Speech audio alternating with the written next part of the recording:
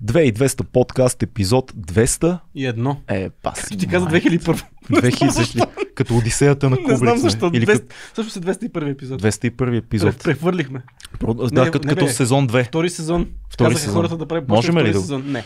201. Просто 201, защото нищо не се е променило реално. Ние сме същите, все още толкова така компромисни водещи, но имате само тези. Ако харесвате това, което правим, най-добрия и оптимален начин да ни подкрепите е платформата Patreon. Това е първия линк долу в описанието и на видеото и на аудиото. Едно скромно месечно дарение ще продължи да държи този подкаст независим, свободен и ще може да си говорим каквото си искаме, както си искаме, да провокираме, да съгласяваме или пък не с нашите гости. А, на аудио и на видео сме, това е важно да се каже. Днес имаме много интересен Само да кажа, гост. защото много Да. често забра... не че забравяме, не го споделяме, че има и друг начин да ни подкрепят хората. Ако не искате да се ангажирате с месечно дарение, което пак казвам, това е оптималната подкрепа и нямате възможност да го правите, и, а пък този епизод ви харесва, има опция за Super Thanks, където може просто да цъкнете Thanks и да се, обл... да, се, thanks, да се отблагодарите с а, някакво скромно дарение, което е по ваш избор. Да, А, днес, както казахме, сближихме балоните. Днеска правим опит- От нашия си балон, да. правим опит да излезем от нашия балон, да сближим балоните. Всички знаем колко сме разделени в България на лагери и а, тези лагери са ляво, дясно, запад, Либерали, Русия, ваксини, не ваксини Да. и т.н. нататък. Нашия гост Мартин Петрушев, изключително готин пич, който има канал Рационална съпротива. С Мартин сме на различни мнения по доста въпроси, но ние смятаме, че се получи много добър разговор. Интелигентен, приятен, супер така начетен и интересен пич е Мартин. Може да видите неговия канал. Там има доста хора, които ние сме скептични към Да. тях като гости, а, но това не ни попречи да направим една хубава дискусия, да обменим къде сме съгласни, къде не, и за консерватизъм и либерализъм, и за изток и за запад, и за европейските проблеми, проблемите на Европа, свързани с мигранти, с джендър политики, а, капитализма. Изобщо много неща, които не се говорят много-много, поне в нашия си балон, така да го кажем. Не режем нищо, подкаст е едно към едно, не се караме, да знаете от сега, не Да. се биеме, даже си стискаме ръцете за доста неща. Интересно се получи Мартин Петрушев от Рационална съпротива в 2200 подкаст. Кога? Сега. Свобода! Че, че забравих, че трябва да има да кажа нещо. И две едно вече сме на живо с Мартин Петрушев. Марто, здрасти. Е, така се почва при нас. Деми, това е положение. Вие сте се засякли на представянето на книгата на Мишо Кунчев. Засякли сме Разказахме не, не, сме се засякли, защото той, той е бил някъде. Да, да, да, не пряко. Да, не пряко сме с... били сме на едно и също място. В едно да. и също пространство сме били. Сега за първи път се запознахме, така че А, ето имаме голямо удоволствие други, Мартин Петрушев да ни е на гости. Здравей. други общи приятели. Марто, как си? Добре съм сега. Не искам толкова много да дигна летвата и да ни вдига много-много, но така а, Толстой и Достоевски винаги са, са искали да се запознаят и са присъствали на една обща лекция, но не са се видяли. Да, да, да. Това е много Абе, интересно. дай да не дигаме толкова. А Не, просто а, асоциацията ми така е, първата да. беше това, защото Да, се а пък. Пачино и Дениро, първата им истинска обща сцена е в Жега на Майкъл Ман. Там, ако си спомнете, в една закосвалня. Нали, Нали, а, че цял живот са познавали. може да, би. и, Да. и най-интересното е, че на една пресконференция ги питаха нали, журналистите такива, какво беше да снимате заедно, да играете най-после след толкова години в една сцена. И те милите старчета бяха такива, беше много дълго. Майкъл Ман правеше твърде много гледни точки на камерите, беше отекчително в един момент. Нали, Няма я тая романтика, която ние си представяме. Както и да е. Марто, много, ни, много така се радвам и ти благодаря, че си тук при нас. А, идеята на този разговор, ние си говорихме и с тебе по-рано, е да се опитваме малко по малко да топим стените между балоните. Ти идваш като а, едва ли не в а, очите на много хора, като представител на, Врага. на другата врага. страна, На врага. на врага, на, на ония, другия флаг, нали. А, изобщо има и такива много силни настроения и, и в Patreon гледаме, като обявихме твоето гостуване. Аз те познавам първо като актьор от надвис. Ние тук, ето пак надвис, мафията се заформи. Познавам те като а, човек, който прави фристайли, като MC от един проект, който се казваше Сътворим. Сътворими Рими, заедно с един пичага с една китара, на който. Константин Кучев, изключително талантлив музикант, да, свири на 8 инструмента. Вау, това е доста. Та, аз те познавам от либералните изкуства, така да кажем. В един момент видях, че ти започна канал Рационална съпротива и от лав на лав стана едно от така популярните млади лица на първите редици на консервативното в България. Може да кажем нещо е такова по-помпозно. Как се случи тая а, работа? Трансформация или е това някаква? Как започна Рационална съпротива? Разкажи ни малко бекграунд история. Първо, по неизбежност стана консервативен и това съм го казвал не веднъж, тъй като а, както ти сам ме представи, в класическия смисъл аз се смятам за либерален човек. Но смятам, че днес политическия спектър до такава степен е изместен от а, лявото, това, което в Америка се нарича ляво. Мгм. Да, благодаря. Че аз съм попаднал а, в консервативния спектър. Тоест, аз не съм мръднал, но мисля, че политиката до толкова се е изместила, че от гледна точка на центъра, така да го кажем, аз съм попаднал в консервативния спектър, защото това, което виждам е М. според мен, че а, в момента западната цивилизация с нейния свръхкапитализъм и стремеж към атомизиране унищожава общността. М. Аз мисля, че има място за общност и либерализъм едновременно. Но общност и либерализъм вече е консерватизъм.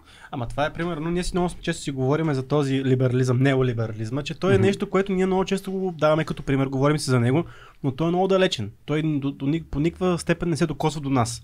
Така ли е според теб, защото аз не усещам влиянието на неолиберализма върху мене, върху обществото, което живееме.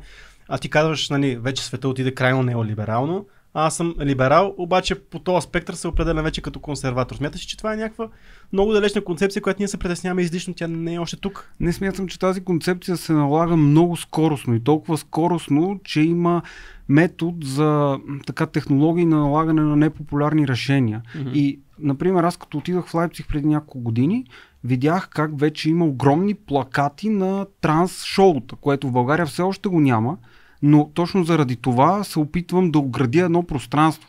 И това, което аз правя е, колкото и странно да звучи, изобщо не се опитвам да правя пропаганда и това съм съвсем искрен. Аз се опитвам да представя само другата гледна точка и да се опитам да оградя това, което според мен е може би правилно. На нито един път не съм се опитал да наложа по някакъв крайен начин моето мнение, ами винаги се опитвам да дам някакви факти, да наложа някаква интерпретация, но казвайки думата наложа, това е налагайки интерпретация върху фактите, а не опитвайки се да убедя някой това е така. Да, да, да, да. Тоест- Да твоята гледна точка към нещата. Ако, а, да речем, допускам го сега, това е хипотетично, имаше страхотна а, мейнстрим медийна руска пропаганда в България, може би пак щях да съм от другата страна. Не мислиш, че до голяма степен няма много голяма онлайн руска пропаганда в България. Има много голяма двустранна пропаганда. Виж, проблема според мен не е в пропагандата, а е в налагането на образ. Малко М. така ще си махам и слагам очилата, сигурно. Щом се чувстваш Така добре. да- Ние казваме, това е 2200, Да, може да правиш каквото си искаш. Да. Да. Един казва с чела, другия без. Да. За, за мен е така доста интересно, че съм с а, слушалки и това, и това е ново и така затова усещам по различен начин сега а, всичко, което правят. Та, Извинявай, да се върнем на въпроса. А според мен най-големия проблем е, че се налагат образи, т.е. образа на врага. Ето го сега този врага. Виж, Да. виж го кой е врага. Врага е този, който 2200 поканиха. Този, който се наложи като ново младо консервативно лице. Да. Защо го каните този лош човек? По същия начин беше още по време на пандемията. Сега, когато едните стават вакцинирани, другите стават Се невакцинирани. разделяме веднага. Унищожава се и се разгражда културата на дебата и по този начин става така, че не могат да се строят мостове. Аз съм дошъл тук, за да могат да се строят мостове, а не за да се опитвам да... Каквото и Или било да се скараме, да или се да се надцакваме и така нататък. А, опитваш ли се да правиш да, да строиш тези мостове в твоя канал. Защото обикновено всеки, който си има един канал, нали, ето примерно ние, ние не, рядко излизаме от нашия балон, което е нормално, може би. Ти опитваш ли се да излизаш от, от твоя балон с хора, които не мислят като тебе? Опитвам се и също така се опитвам да вкарвам и от време на време дори някакви учени. Имам план, че искам да започна да говоря повече с хора от БАН, да говоря с повече с хора, които се занимават сериозно с наука, за да може това да достига да, до хората. Да. И, например, наскоро а, говорих с а, една жена, която е представител на банатските българи в България и тя, нали, е католик, говори също така за ам, западните общности, как по неизбежност нали, банатските българи са обвързани с Запада и така нататък. И ето аз веднага намирам пространство за мост, защото а, това означава, че когато е станало, тя разговаряше за Чипровското възстание, М. как се е организирало покрай, покрай М. нали, банатските българи, как са станали, защото като имало голямо клане, тогава те са избягали. И се получава така, че в крайна сметка аз разбирам как а, това е Европата, която мен ме интересува и която мен ми е интересна. Тоест, унази Европа има един отец Марко се оказа, който е написал тогава дисертация 1600 и някоя година. Това е едва ли не първия български философски труд. Хм. И т.е. той е обвързан и е написан на латински, защото всичко тогава се е писано на, на латински. Но за мен тази философия от това време и както и още, гледайки назад, римското право, гръцката философия, това не веднъж съм го казвал. Това са корените на Европа. Това е цивилизацията Европа. И това е Европата, към която според мен трябва да се завърнем. И аз не съм евроскептик, аз обожавам Европа. Това Мгм. също съм го казвал много Това пъти. Европата, която намира своя корен в християнската структура ли е, според теб? Трябва ли, трябва ли да бъде, защото знаеш целият този период е доминиран от християнския конструкт, така да кажем, си говорим за конструкти. А, но трябва ли задължително Европа да се върне в този коловоз? И може ли да бъде консервативна Европа без християнски елемент? Ако това стане, би трябвало да е Европа изградена на друго вярване, защото да, М. например, самите философии от а, тъмните векове, например, като Тома Аквински, Дън Скот и други, други големи философи, те по неизбежност са попадали в догматиката на християнството, но това не значи, че те непременно са движили точно тази догматика напред. Тоест те са си намерили кутийката, пространството, в което те да могат да изразят своята свободна мисъл до границите, в които тя може да се разпростре. Всъщност не е имало как да правиш каквато и да било научна дейност, ако не си част от християнската система в тия векове. Според Няма мен, как да имаш университет, същото. образование. И ти знаеш много често, че а, хора, които а, са проповядвали идеи, които са в разрез с религията, М. които се оказа след това научни постижения и факти, М. са били отлъчвани от църквата заради тези си. Или дори изгарени. Да. Да. Което е- Галилео, нали, един от пр- примерите, който всеки се сеща нали, за, за, за него. Добре, кои са... Трябва, дай да... Само, само искам да, да, да опитам а, кол, в, така, в този идеал на, конс, на, консерватизма, колко важна част заема религията в такъв случай за теб, М. според тебе? За мен религията би трябвало да бъде лично предпоставено свещено осезание към битието. Като тук думата лично не я слагам като някаква идентификация с представата ми за себе си. Да. Защото когато М. ти започнеш да си слагаш аватар, проблем, който в момента всички виждаме в социалните мрежи, Факт. тогава става така, че а, ти се защитаваш. Т.е. ти защитаваш една идентичност и възпираш пътищата, по които действителното пространство на будното съзнание може да непрекъснато да се разгръща пред теб. Тоест, така да го кажем. Да. Но само да се върна към а, догматиката. На, напълно, напълно сте прави, че нали, християнски конструкт има, че този християнски конструкт е бил много радикален, че се е стигнало до горене на вещици и така нататък, че се е стигнало на разделение а, с а, протестанството, че е имало огромни нали, проблеми около индулгенците, папски режим и така нататък. Дори а, в а, Братя Карамазов има един роман в романа Велики инквизитор, където Исус, той не се казва експлицитно, че Исус, идва на земята. И а, всъщност той започва да прави същите, същите лечения, а, леко, вдига умряло дете Ве- от веднага гроба. появява се и извършва чудо. И веднага пристига а, инквизицията да каже, Да. чакай, чакай, ние тук нещата по друг начин сме ги устроили ти объркваш това, което ние правим в момента. Да, идва Да. Великия инквизитор Да, и му казва, защо си дошъл, за да пречиш? да. Защото ти ни пречиш. И ето това е Защото ние те превърнахме на в велика, религията. великата тайна. Да. Да. Та, тук сте много прави. Аз не искам да се наложи някаква догма, но това, което е имало по време на християнския конструкт в университетите, според мен в момента го има в този така наречен неолиберален конструкт, защото знаем, че понятията винаги много се размиват. Сега не можеш тия от всички понятия, които говорим, аз наскоро писах примерно за прогресивизъм, тези всичките понятия, ако всеки се опита да им състави речник, те ще бъдат различни речници. Е, Тоест, да. непрекъснато има такова разминаване между понятията, та така е с консервативизма. Консерватизма, ето виж, Да. пак, точно това. Грешката е вярна в Да. случая, нали, Да, да, по да, Фройд. А, но това, което искам да кажа е, че практически в момента, според мен, ако ти не изповядваш това, което ам, се налага от капиталистическата система в университетите, ти нямаш шанс. Тоест, в момента, в който ти не работиш за кап- капиталистическата система, защото капитализма си е една социална мега машина, която хор, превръща хората в малки части, малки детайли, т.е. от нейния конструктор, нали така?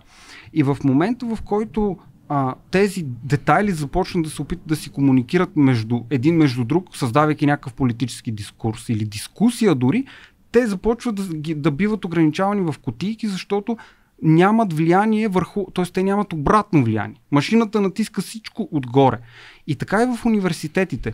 Свободата на изследването в университетите е станала напълно зависима от политическата коректност. И така, например, че ми избяга името, имаше един Нобелов лауреат, който а, след като печели Нобелова награда, може би ще ви го кажа по-късно, ще го напиша някъде, който а, прави след това експеримент и доказва примерно, ето сега а, черната раса има много повече физически възможности, бялата раса има малко повече умствени възможности. И, и той го доказва нали, биологично, технологически и така нататък. И те му казват, това е расизъм, той използва своите студии за расизъм и му взимат Нобеловата награда. Да, има, има едно подобно изследване, то е доста по-ново, мисля, че само сам Харис беше говорил публично за него, че всъщност когато изследват IQ-то на расов принцип, има разлика между отделните раси.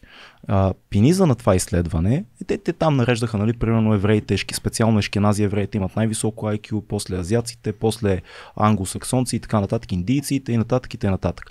А, пениза е, че разликите вътре в групите между членовете са много по-големи от разликите между отделните представители на расите. Тоест има такова изследване, но то не значи, че тази, този човек задължително е по-умен от този, защото са от различни раси. Знаеш, Точно така, да. Много, а много, да се казват тия неща, което... Много нали? интересен пример ми изникна от един епизод на Доктор Хаус, така. който в един от тези случаите в, в клиниката, нали, да. който са такъв като комеди релив са от време на време, идва един а, цветнокош, а, така, застаряваш а, господин и казва, имам високо кръвно и той казва, да, ето това лекарство. И той казва, не, не, дай ми друго лекарство. И той казва, защо? Защото това лекарство е дока... не влияе на цветнокожите, защото те а, генетично са с по-високо кръвно, кръвоналягане и това лекарство специално е разработено за, а, за черни хора. Това Дайте ми лекарство за бели хора. Да. Ама не бе, това лекарство ще ти помогне на тебе. Не бе, дай ми лекарство за бели хора. Аз искам да, просто не искам да ме дискриминираш по това, че аз имам проблеми да, такива и даваш черно пример, лекарство. Абсолютно. You give me a black е medicine. аз... Има го това нещо, наистина. Има го и, и това с изобщо кенсел културата и, и цензурата, която се налага да не се говори за, за определени теми, това е нещо, което и ние много сме обсъждали в подкаста и не харесваме изобщо като тренд, който mm. реално идва от Штатите, сега е в Европа до голяма степен, но прави ми впечатление нещо друго. Ти казваш, капитализма е причината за политиките в университетите. Дали е така или по-скоро това, което се случва в момента в западните университети, цялата политкоректност и а, цялата така цялото пречупване на историята и преподаването на всички дисциплини през а, социалните науки, най-общо казано, дали това не е по-скоро рожба на този, са много голямо клише, но то си е факт, културен марксизъм. Тоест идеята, че едни западни учени 70-те години, след като вече не е готино да си социалист, защото се разбира какво се случва mm. на Запад и чрез Солженицин и чрез други така трудове важни, в един момент вече не е много готино и се събира постмодернизма заедно с социалистическата доктрина на Запада и същите тези, голяма част от тези учени са в момента преподаватели в западните университети. Това не е ли по-скоро причината, отколкото капитализма като, като структура? Според мен са взаимно обвързани, mm. защото университетите се финансират. Mm. И те се финансират от корпорации. И, и какво искат корпорациите? Те винаги искат продукт. И те дават свобода. Всички, т.е. капитализма е много по-свободен строй за всички, Естествено. които се съгласят с едно условие. И то е ти работиш за възвръщаемост на печалбата на капитализма. Правиш ли това условие, ти имаш пълна свобода, стига да не натиснеш твърде много някой по така, Ама това е ново по... явление. Виж, капитализма от 50-те години в Штатите не е обвързан с политкоректност. Примерно този най-пиковия момент, в който започва голямата, голямото развитие на тяхната система, да, от 50-те до 80-те до, до Рейган там и почва да крашва всичко надолу. Там няма, няма, има капитализъм без политкоректност. Защото Рейган всъщност прави така, че маха златния резерв и от тук нататък почва свръхпечатането на пари, което работи само на вярването на хората. 1971 mm. той като махне златния резерв. Съгласен. Мисълта ми е, че не е имало в този период от 30 години а, капитализма не се основава на политкоректност. Аз съм съгласен с това, което казваш, но ми се струва, че е обратна връзката. Университетите на Запад и политкоректността, която идва от 70-те години, започна да доминира корпоративната среда. И, и, от, оттам започва влиянието, а не от корпоративната среда и капитализма и бизнес, индустриалните мейнстрим, нали, корпоративни големи среди. Не оттам към университета, обратното е, по мое наблюдение. Не знам. Все пак аз си мисля, че е двустранно. Затова М, имах предвид, да, че е взаимно влиянието. Но това, което тук бих искал да допълня, е, че до 90-те години, т.е. тези години, за които ти говориш, Да. А, се получава така, че а, капитализма, т.е. западната система има много сериозно върху какво да противостои през цялото време. Т.е. тя се бори срещу Съветския съюз. И тогава има смисъл западната система непрекъснато да свободава, да създава своите революции, контрреволюции, революции на цветята. Аз много дълги години, дори много съм се увличал по идеята за хипи движението М. и за тази толкова голяма свобода и безбрежност на културата.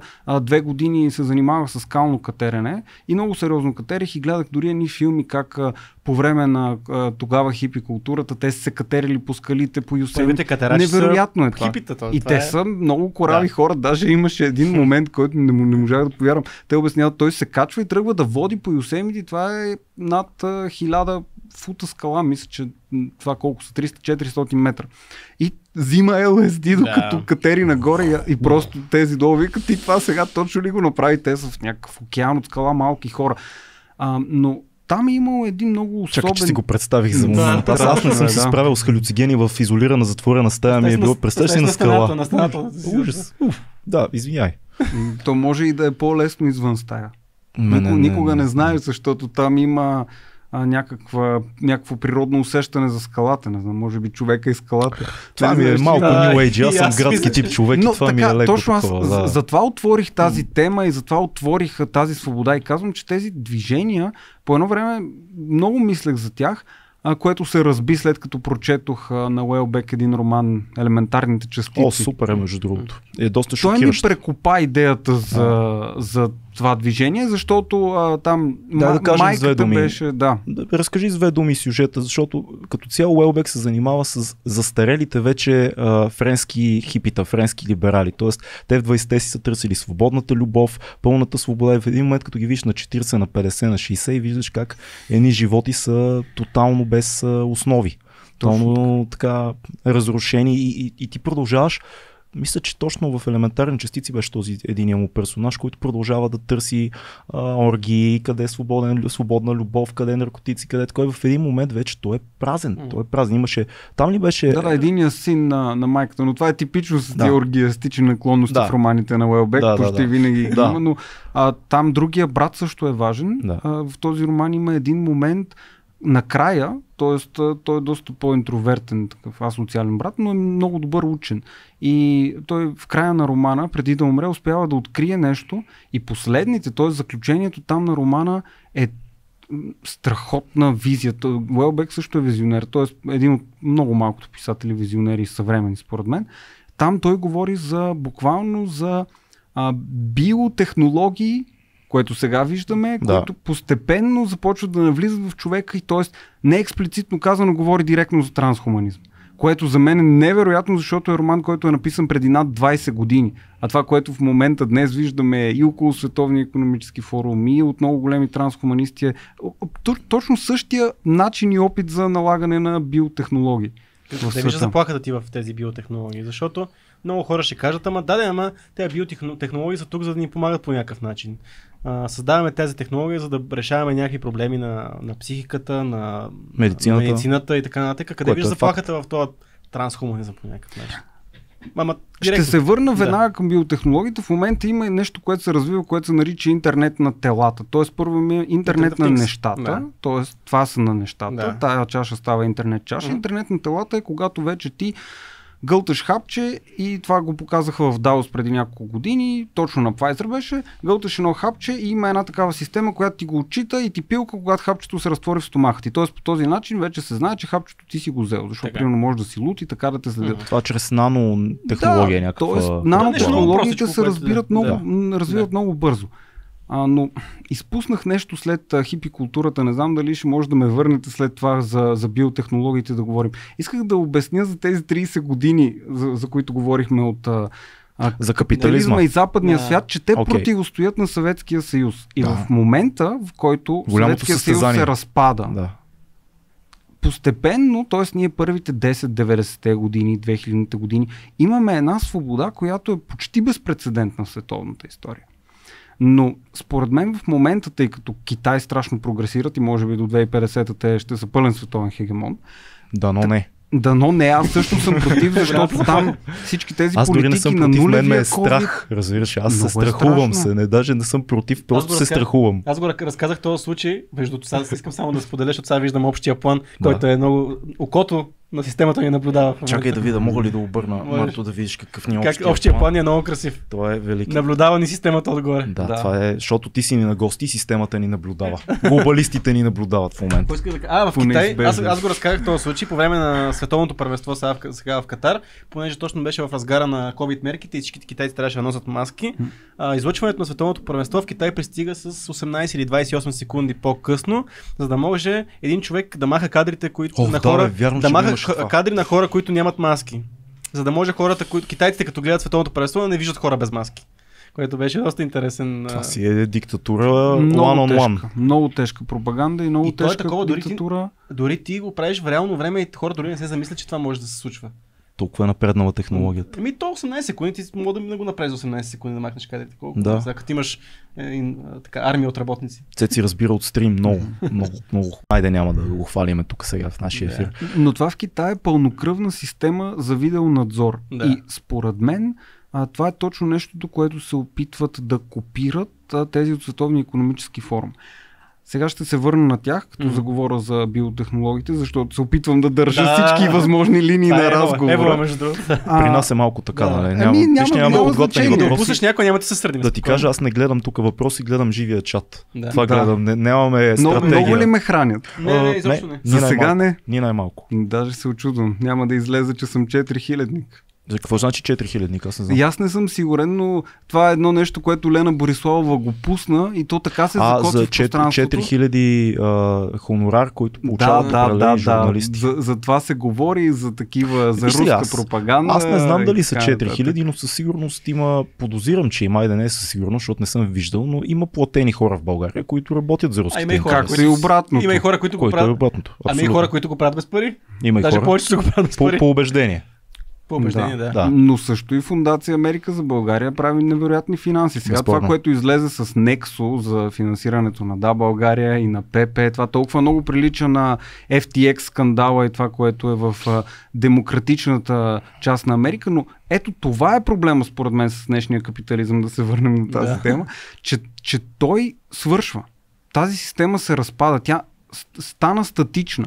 А всяка една статична политическа идея, М. според мен, започва да се изража в авторитарна идеология. И това ние все още не го виждаме, но аз го виждам как пълзи. Тази а, тоталитарна държава на надзора, която имаме в Китай, в момента се построява тук в Европа пред очите ни, навсякъде. Мислиш ли, че е Yes. толкова зле наистина? Да, Защо? А, значи аз пътувам доста често, бил съм във Франция, в Италия и в Русия съм бил, ма за малко, ма това беше 2017 година на в Гик фестивал и не беше както е сега, или поне аз не го усетих чак толкова, но където и да съм бил в Европа а, и в Прага съм ходил, къде още съм ходил, ходил съм, не съм се усещал като се едно съм в някаква система, дори близо сходна с Китай. така е, но защо това напредва и защо това е така? Също съм пътувал много. Аз съм живял една година в Германия, бил съм два пъти в а, Швейцария, също в Чехия, Белгия, А Франция. Швейцария съм много често бил също, да, Да. там Но страми. както сега, нали, това не е идеята. Да, да, да. Въпросът е, че съм ходил в, в Европа и в Испания, виждал съм неща отвътре. Но това, което в момента става, е голямата а, мигрантска вълна, която идва, според мен, е От разковничество от, от Африка. От Африка? Да. Окей. И това допускане, примерно само миналата година, над 400 хиляди мигранти са влезли в малка Холандия. Чакай сега. Дай тия, тия нали знаеш така цифри, като се казват, малко е Аз мога да рисковано. дам всичките... Откъде, откъде имаш 400 хиляди часа? В смисъл, А, къде, къде факт чекваш такива неща? Всичките Защото неща, звучи- ако звучи- искаш, можеш след това да, да попиташ, да, ме, тоест, да, да ми пратиш едни въпроси, аз ще ти пратя. Ема защо Много дай, внимавам дай да сега говоря. да, го, да го направиме. Мигрант uh, Нидерланд. Дай да, да тества. Ти Добре. разказвай. А, по принцип е, има едно, ма то е на немски. Ахтунг Райхелд се казва и там а, го обясняваш, че това е една холандка. Дава ми го. а, 317 хиляди. Добре, извинявай. Да, има. Окей. Прав си. Преувеличих. Не са 30 400 хиляди, 317 хиляди са. 97 Но това са- от Украина. Но това са само официалните. Но 100 хиляди от тях са от Украина. Но това са само официалните. Ама Е. аз намерих и за 400 хиляди. Ето, то е намерено и за... Но не, не искам нали да спорим. Много внимателно, повярвай ми, проучвам какво казвам. Никога няма да кажа Въпросът факти, е- които не смятам, че, е, че така. като кажеш, като вържеш, това ме притеснява понякога в, в вашия лагер, айде така да го кажа.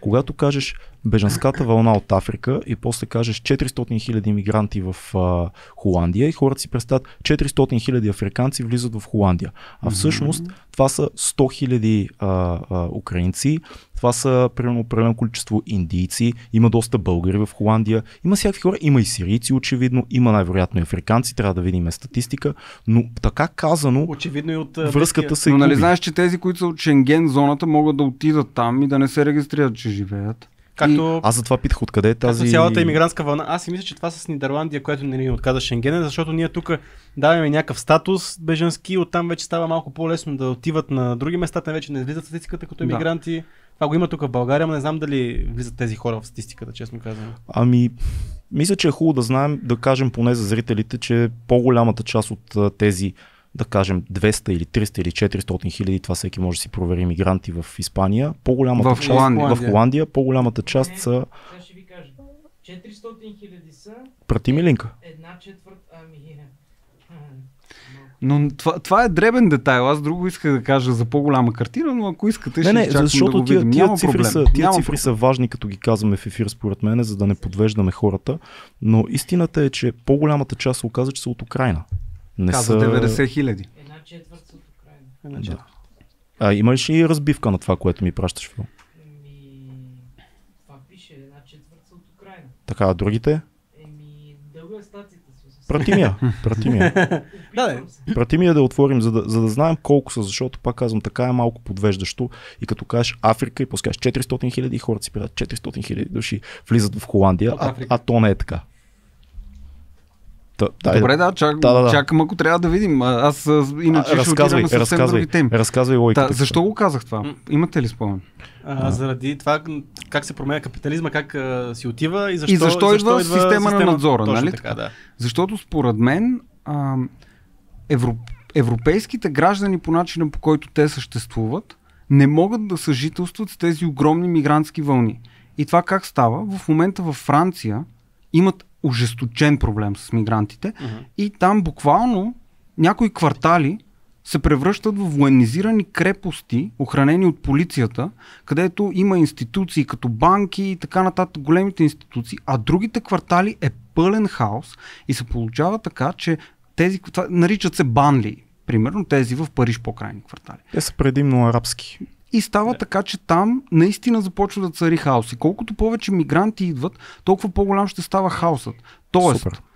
от тук нататък, за да може да се изравни този хаос, т.е. този хаос да бъде приведен в ред, единственият начин е когато Брюксел започне да налага все по-тоталитарни надзорни мерки, за да може да бъде озаптено това безконтролно движение, защото непрекъснато стават изнасилвания и убийства и в Германия. И ако трябва сега да проверяваме факти, мога да ти пратя много линкове за това. Тоест, нон-стоп стават Ама до сега Брюксел, аз ще се извиня, ще прекъсвам, но до сега Брюксел доста често казва, да бе, така е, ама оправите се вътрешно. В смисъл, че когато минаваха ми- от Африка емигранти в Италия, когато влизаха, да, Брюксел, а, да, става, случва се, обаче оправите се вие с този поток. Когато влизат във е. Франция, Брюксел казва, това не е наш проблем, вие А, се така. оправете с, с тази система. Всеки вътрешно в държавата трябва да реши проблема с иммиграцията по начин по който той вярва, А защо че... тогава Полша и Унгария, когато решават проблема с това, че ние не искаме да приемем мигранти, им казват, вие сте диктатури, вие сте не политически коректни, вие от тук нататък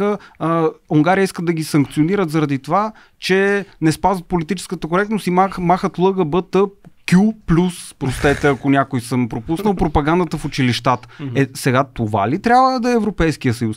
Но това, което казваше, чисто измиване на ръцете на Европейския съюз, защото той очевидно има стремежа да стане все по-федерализиран. Тоест, да има една централна власт, която да управлява всичко. Но е много удобно да избегнеш отговорността, когато кажеш, а вие се оправите поединично в тази държава сега. Но биват осъдени, ако, не, ако го направят поне Не Е, най-точният ето начин. това не означава ли, че сме се запътили към система на тоталитарна държава на надзор? Добре, а не смесваме ли малко нещата, защото да кажем гетата, които са в а, Париж, гетата в а, Холандия, ако искаш, мисля, защото мисля, че и там имаше доста сериозни, пак предимно арабски а, гета, това не са ли второ, трето поколение а, араби, които Част са в тия тях. държави? Да. Не, това не са хора, които влизат сега и изведнъж се заселват и това всичко да е ново явление. Това е нещо, което се е случило второ, трето поколение и не са могли да бъдат интегрирани по Е, някакъв това е начин. проблема, че се Да. обещава интеграцията и се говори за непрекъснато за тази интеграция, как тя ще стане, а колкото повече време минава, толкова повече се вижда, че тя не става. И единствения вариант това да бъде изконтролирано е все по-силен полицейски надзор и наблюдение. И буквално сега това, което ам, мога да кажа за момче, което изобщо не се занимава с политически неща, по-малък от мен, приятел е на приятели на, т.е. син е на приятели на родителите ми и се видяхме. Той ми каза от а, 4 месеца съм в Холандия, мисля, че е на 19 години момчето, т.е. изобщо не се е занимавал толкова да ги мисли нещата. А, и, имам предвид от политическа перспектива, той си мисли негови неща. И в момента, в който аз го питах как е там, той каза ми, аз не виждам много бели хора. И той, «К- как така? Смисъл, не виждаш бели хора? Да. А какво друго става? И той започна да ми обяснява, ми тук постоянно виждаме ни как ги бият. И аз викам, кой бият? Черни бият бели, бели бият черни, ни всички се бият. Обаче, когато а, повечето пъти виждам черни как бият бели, полицията идва, застава като щит, предпазва ги и те след това си тръгват, полицията не им прави нищо. Единственият вариант е да има все по- повече полиция. Миналата година в Холандия също имаше стрелби, бяха простреляни хора. Там става все по... Тоест нашумя... Как да кажа? Клокочи. Ама не е нормална Клокочи. функция За, на... Западна Европа Да. наистина е на път да започне да има вътрешни граждански войни. Когато политиката, това, може би аз съм съгласен с теб, че най-вероятно това ще се случи, но когато политиката не може да се справи с емигрантската криза, не се интегрират а, бежанците, не е ли нормално и когато стават размерици на улиците, полицията засилва не заради това, че а, трябва да се осъществява някакъв контрол, а просто полицията трябва да бъде засилена, за да няма безредици. Мисля, не е ли функция на това, че просто не, политиката, не, политиката по някакъв начин не си е свършила работа с интеграцията на тези бежанци? Да, е, но в момента, в който ти вече имаш а, пълен контрол над даден човек, проследявайки го през всяка една камера, както е в Китай, навсякъде навън за 30 секунди могат да те Да. установят къде си, в момента, в който ти си леко политически некоректен, могат а, да ти, както тия китайските апликации в момента, ако тръгнеш някъде на протест да ходиш, ти светва червено, че си болен от COVID. Mm-hmm. И по същия начин могат да започнат, когато има пълен надзор на, на цялото население, да си регулират а, насякъде политическата коректност. Да не говорим вече за всички видове Да, пропаганда. но тогава няма ли точно тези либерални общества, за които. Те, те да първите, за които ще, ще, нали, ще надава глас, че как ще, вие ще ми отнемете правата да се движа, защото това е първото нещо, което ще кажат хората. Вие ми ограничавате правата да се да движа, да се движа. Заради климатичните промени, климатичен локдаун. Не вярвам. Не- Няма Все още не. за това. не. няма. Аз ти Това е казвам много рязко, допускане. рязко, Рязко го като казвам. заключение. Да. Ето, до, ето сега, коя е 2023 до 2030 година, ти гарантирам, че масово в медиите ще се говори за климатичен локдаун. Ето тук сега се подписвам на живо в този под- подкаст. Добре. Добре, няколко неща от а, живия чат, гледат ни си интересно хора. Милен казва за Америка, за България може да се види много ясно кого финансират, защото е публично. Публично е, да. Проблема с финансирането на хора, които разпространяват руски опорки и гледни точки, че става зад колисно и това дразни много хора, че всъщност това става тайно, не се обявява никъде и когато ти си пуснеш един подкаст или предаване в нечия телевизия и така нататък, те не казват това достига до вас с помощта на а, е ру, митрофанова.ру, Да. а, а докато Америка за България е публично. Това, това по тая точка. Друго нещо, което казват, само ДБ са финансирани от Нексо, не е, продължаваме промяната, се оказа, че не са. Да. Там имаше врътка с Ананиев, ако не се лъжа, дали е бил на среща или не, но мисля, че никакви доказателства сериозни не излязоха. А, Впрочем, втория въпрос отговаря на първия. обясни. Нексо не е било обявено официално. Обявено е. В, на, В на, последствие. за ДБ е обявено, че има финансирано от Нексо. Да, Не, не е в предизборната кампания. Сега се разбра.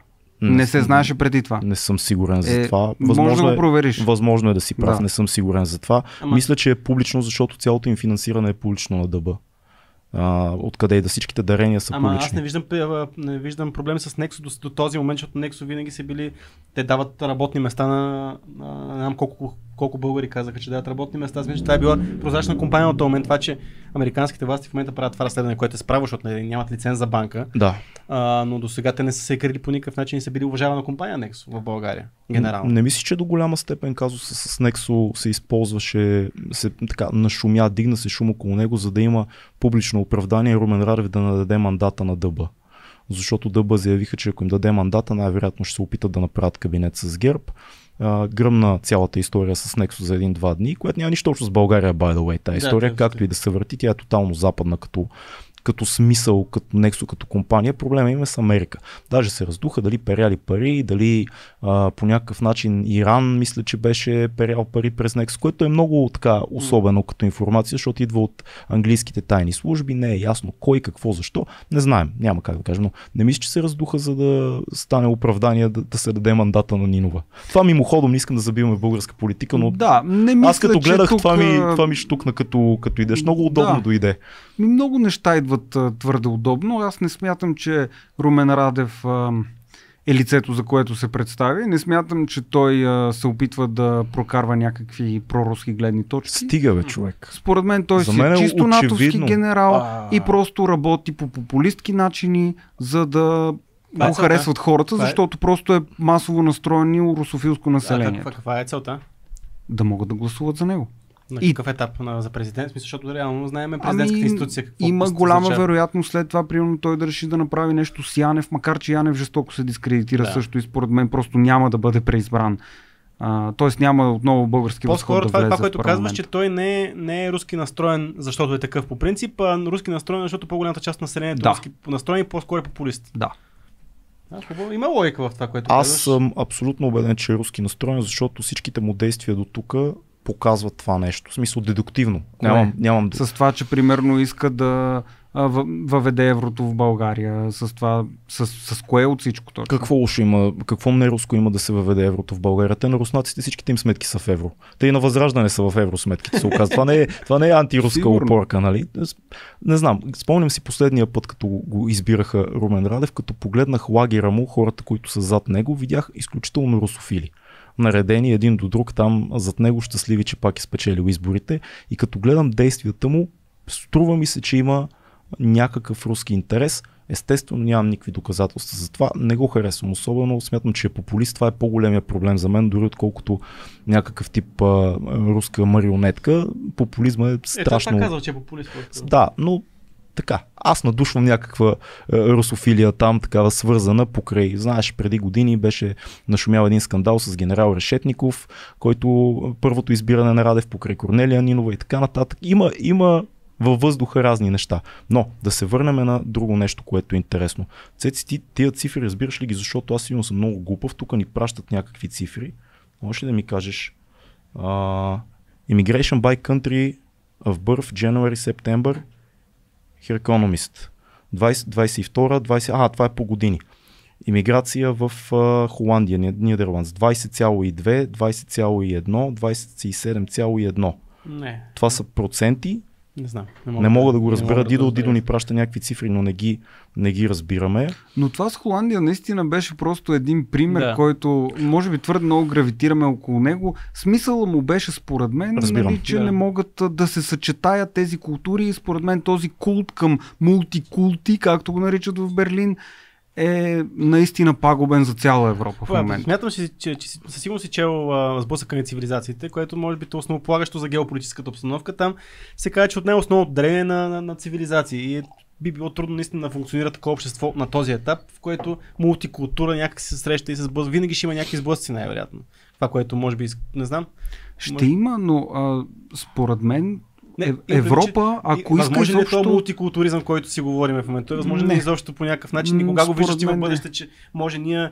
Ай, ние в България е трудна работа, тук знаем как се положението, но в Франция от толкова години вече а, французите си живеят с а, хората от Алжир, от Тунис и така нататък. И то до някаква степен голяма част от тях са интегрирани, голяма част не са. Но ето, че отново има сблъсъци. Толкова години вече. Толкова... Ма, защото проблема се влушава. И той се влушава все повече и повече. Тоест има, има пропорционално нарастване на влушаването спрямо това колко мигранти отиват там. Добре, де, ама а, какво правиме с а, държави като Англия или да кажем един град като Лондон, който е пример за мултикултурализъм, работещ при това.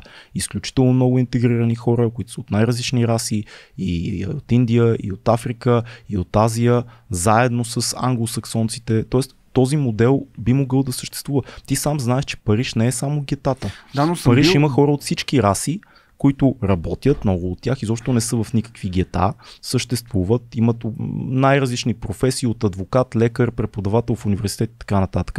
Тоест, това не е ли по-скоро маргиналната територия, която те занимава теб? Не е основното, не е принципа. Това е по-скоро изключението. Това изключение започва да става в правило. Пр- и Според мен става така, че белият човек има все по-малко права от малцинствата. Всичко това се звучи дава много на крайно. Марти. Аз разбирам притеснението ти, звучи ми много, Не, много странно. Всичко се дава на малцинствата. Всичко, т.е. самата политика е направена така, че да привилегирова малцинствата и в Германия, и в Франция. Аз съм живял в Германия дай ми, и знам дай ми какво е. пример с нещо конкретно.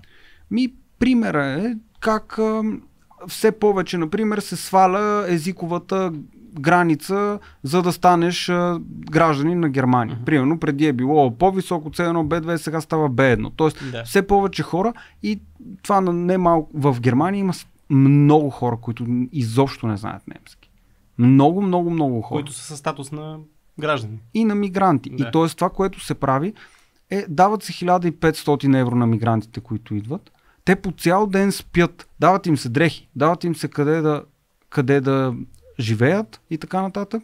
И те си спят по цял ден, вечер излизат и почват да бушуват. И непрекъснато има все нови, нови изнасилвания. Колко са тия изнасилвания? Това пак е нещо, което чувам от а, а, консервативните среди в България. Всеки ден има нови изнасилвания. Това, това ми звучи много преувеличено Цяла и много... Не е преувеличено. Дори, дори в а, държави като Швеция, за които си говорим, е, какво става в Швеция, Стокхолм почти всеки ден убиват хора. От, откъде идва тази статистика? Можеш да провериш информация. Кажи ми, Окей, ти откъде имаш, примерно, че всеки ден убиват хора? Killing Rate Стокхолм или нещо такова просто, Killing rate by migrants. ми, Имаш примерно, предвид, или примерно. както и да е. Нещо, Окей. Аз също се шокирах. Преди няколко месеца имах възможността да се запозная с един швед, който е бил затворник И там. Sweden даже ще пиша, за да не е само Стокхолм, примерно. Ето сега. Специално за Стокхолм в момента стават най-много убийства Е, на, на човек от Стокхолм. населението от а, столица в цяла Европа. Добре, Тоест, ето какво става. Но не е само от мигранти. Ето това е. а, Не е само от мигранти. момент, да. Така е. Но населението започва да се изражда. Аз това, това виждам. Това е, Какъв е проблема в това, че се изражда? Ако хората са образовани, ако Не хората са. са това... интегрирани. Не са. Да, ма колко от тях не са? Много. И все повече стават, Орлин, защото според мен в момента мас, масово опадане на образователната система има. Има едни графи с IQ-то на интелигентност, как горе-долу до към 2010 расте много сериозно. Откакто се въвеждат социалните мрежи, всичко е само надолу. Филка, ще сърчиш ли убийствата и изнасилванията в Стокхолм, че се разсеваме много текст? Благодаря ти, докато си говориме. Да, добре. Да. Но, много е удобно това. Не, бе, не е много удобно, ама, да има ама, някой, се, който да, ама се налага. да, Да, провери. Да, хубаво е точно. Аз съм, аз съм съгласен с този тип проверяване на фактите. Впрочем, за мен проверяването на фактите от Брюксел изобщо не е истинско проверяване на фактите, но това е друга тема. Ето това сега звучиш леко конспиративно вече сега. Защо не е... е, Е, аз мога. Ето ти, например, тук има непрекъснато се говори Великото зануляване е конспирация. Проверки на факти. Великото зануляване Чакай е сега, конспирация. какво значи великото не зануляване? Значи това е една книга на Клаус Шваб, този, който е ръководител на Световния економически форум, The Great Reset. Тази книга е написана май 2020 година е публикувана. Така. Май 2020 година е няколко месеца след началото на пандемията. Всеки, който е писал, аз се занимавам сериозно и с писане, и с научни трудове. Да, и знам, че превеждаш да, за изток-запад, доколкото знам. Да. да. да пишеш нещо, да преведеш една книга, това е много труд. Той заедно с един Тиари Мареле, Малере, мисля, че се казваше, я публикува тази книга май 2020 година. Казва се The Great Reset. И там точно се описва цялата агенда на Световния економически форум за въвеждане на зелената сделка, за блокиране на всички възможни пътища за революция от хората отдолу. Описва се как все повече трябва да има някакво централизирано влияние, за да може все пак хората да бъдат приведени в ред, защото все, всичко става все по-голям хаос. И има толкова много преки доказателства. Ето сега И, има ги в книгите, които съм ги превеждал. Аз съм проверявал линковете един по един, така че мога да ви ги прати. Чрез лоби работа в Брюксел. Къде, къде ги проверяваш линковете? Ами, В, сам, в самата книга има линкове, докато превеждам. И аз пиша линка в интернет и виждам, т.е. Провер... винаги проверявам много внимателно какво превеждам, за да няма няк... някоя заблуда. И дори ми се е случило да си кажа, бе, този сайт тук сега не работи, това може би не е вярно и слагам една бележка, нали, че не съм сигурен. Да, факт. Тоест, много внимателно проверявам всичко. И се оказва как корпорации, например, като Facebook, Alphabet, Amazon и така нататък, те дават буквално по 20 милиона евро и отгоре само за лоби работа в Брюксел. Единствената цел на тази лоби работа е да прикотква политици към себе си и да ги карат те да правят неща за големите корпорации. Не е ли целта на лоби работата им да имат по-леки данъчни условия, като големи онлайн корпорации? Разбира се, това е големи част. IT сектори, не е ли това Но те, те убеждават политиците да имат по-леки данъчни условия, разбира се, да. Но това е едно от нещата. Има, има много други неща, като например този а, Жозе Барозо, който беше Мгм. председател на Европейската комисия преди Урсула фон дер Лайен. А, той много често лобират а, от Goldman и Sachs за него, от банката. Един месец след като той напуска 10 годишния си пост на председател на Европейската комисия, става почетен председател в банката Goldman Sachs. Е, това не става случайно тия неща. Те лобират, обещавайки на политиците позиции в много големи корпоративни структури в момента, в който те приключат политическата си кариера. Само да прочетеме, значи дадоха ни, пратиха ни тук статистика за Швеция, не само за Стокхолм, за Суидън. А, убийства от афганистанци за 2018 7. От албанци 2, от алжирци 1. Гледаме надолу. От За Бахамите, 2018. Бахамите. Бахамите 19. Бахамите. Бахамите са много... От Барбадос 14. Това са някакви бизнес убийства. Ето, От Белис, Белис. 26. Уха. А, Бразилия Ботсвана 22. 15.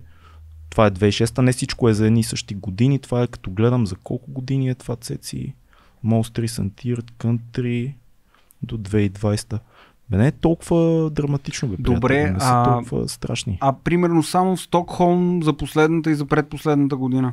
Трябва да намерим. Добре, не, нека. Не, ма, сега зрителите могат да си ги намерят. могат, могат, неща, да. приятели, търсете си, търсете си нещата. Не, проверявайте всичко, което казвам. Проверявайте всичко, което казвам. И пак казвам, за, мисля, че за втори път го казвам това. Да, казвам някакви факти, които съм проверил внимателно. И когато сложа някаква интерпретация върху тях, аз не я налагам. М. Мисля, че го казах това малко по-рано. Аз ще взема твоя пример обаче, примерно за зелената сделка и не конкретно за зелената сделка, ми за целите климатични проблеми. Ти каза, че си се занимавал с скално катерене, проблемите на природата си, познаваш ги, защото ти си човек, който се среща с природата. А, и ще се опитвам да ги пре- пренеса тия неща в тази обстановка цялата, която защото очевидно много примери може да дадем за това как а, сегашна че трябва контрол някакъв или по-скоро, че се налага някакъв контрол. Какво е решението, ако няма някакъв контрол? Защото ако не налагаме някакъв климатичен контрол, очевидно всички си върви по стария, а, по стария път и нищо не се променя. Ако а, вървиме по стария ред на това да пускаме иг- емигранти и да не ги контролираме с полиция, очевидно става това. Какво е решението в такъв случай?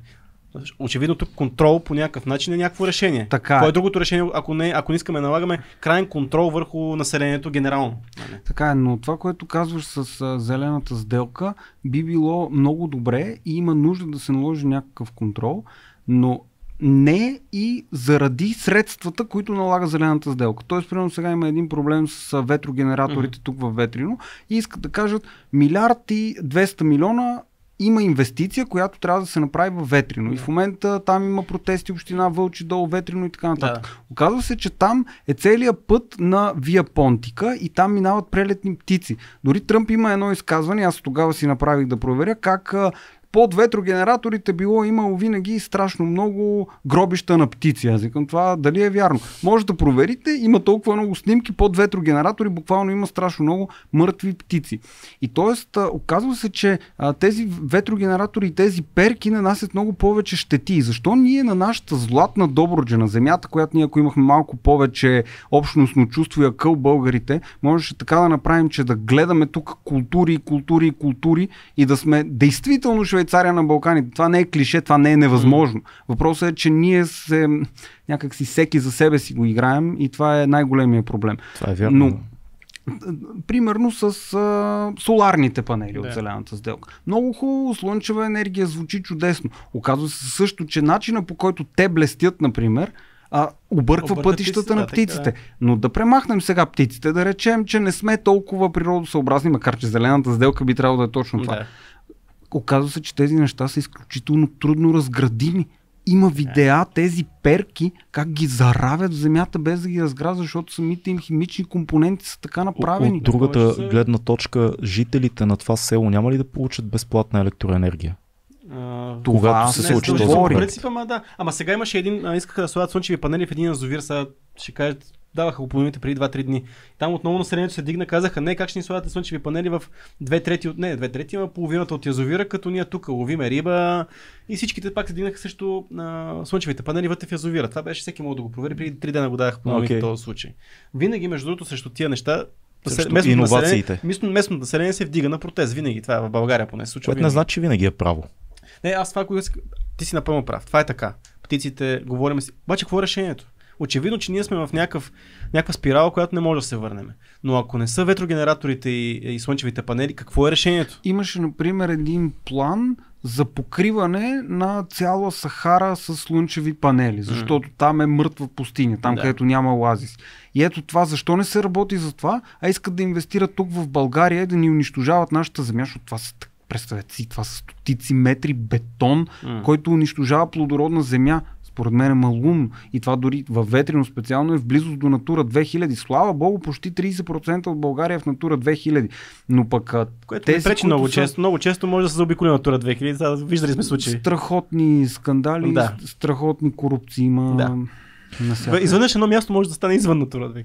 Аз искам да се върнем на плана за зануляване. Обясни ми по-подробно какво се очаква да се, смисъл каква е прогнозата на този план, какво е най-лошото възможно, което така, дори леко фантастично ако звучи, какво е финалната точка. Финалната точка е да има пълен контрол на цялото население. И чрез а, трансхуманизма да, бъд, да се на- навигират абсолютно всички възможни а, изобщо Добре. идеи, мисли. Но по принцип, може би би трябвало да го обясня по-добре това нещо. А, има... К- контрол от кого? А, виж сега, Световния економически форум управлява Европа много повече, отколкото Брюксел управлява Европа. Какъв е Това го, проблема? казвам, това го казвам, колкото и конспиративно звучи, съм убеден в него и мога да извадя също. Обясни много... ми нещо, което не разбирам. За трети път казваш световния, повече, четвърти, световния Да. економически форум. Какъв е проблема с него? Проблема е, че това е концентрация на власт и налагане на власт, която никой не е избирал. Нито един човек, Тоест не е демократично. никой не е гласувал да има Световен економически форум. През Световния економически форум се лобира в Брюксел. Има една програма за млади глобални лидери на Световния економически форум, значи той е създаден преди 50 години. И изведнъж става така, че 10-20 години след създаването му започват по, презид... по сателити да говори американския президент на този форум. Тоест там започват да се наливат страшно много пари. И през там започва да се лобира и да се буквално купува и контролира Европа. И в този... Тоест, нека разбера, теб те притеснява а, сближаването между Штатите и Европа. Не, в никакъв случай. Аз а, имам много неща от американската култура, които харесвам. Аз не харесвам неолибералната а, тази лява политика Крайно на... лявата. Крайно лявата започнаха вече да Няма пол. режат на момчетата. Да, да, да. половите Пол е органи. социален конструкт, тия Да. всичките глупости. Направо това Да. То- Всички сме съгласни. Направо ме е страх на- от на едно мнение, но, но да. да. добре, по-скоро може след малко да я обсъдим тази тема, но ока- има една програма на Световния економически форум за млади глобални лидери.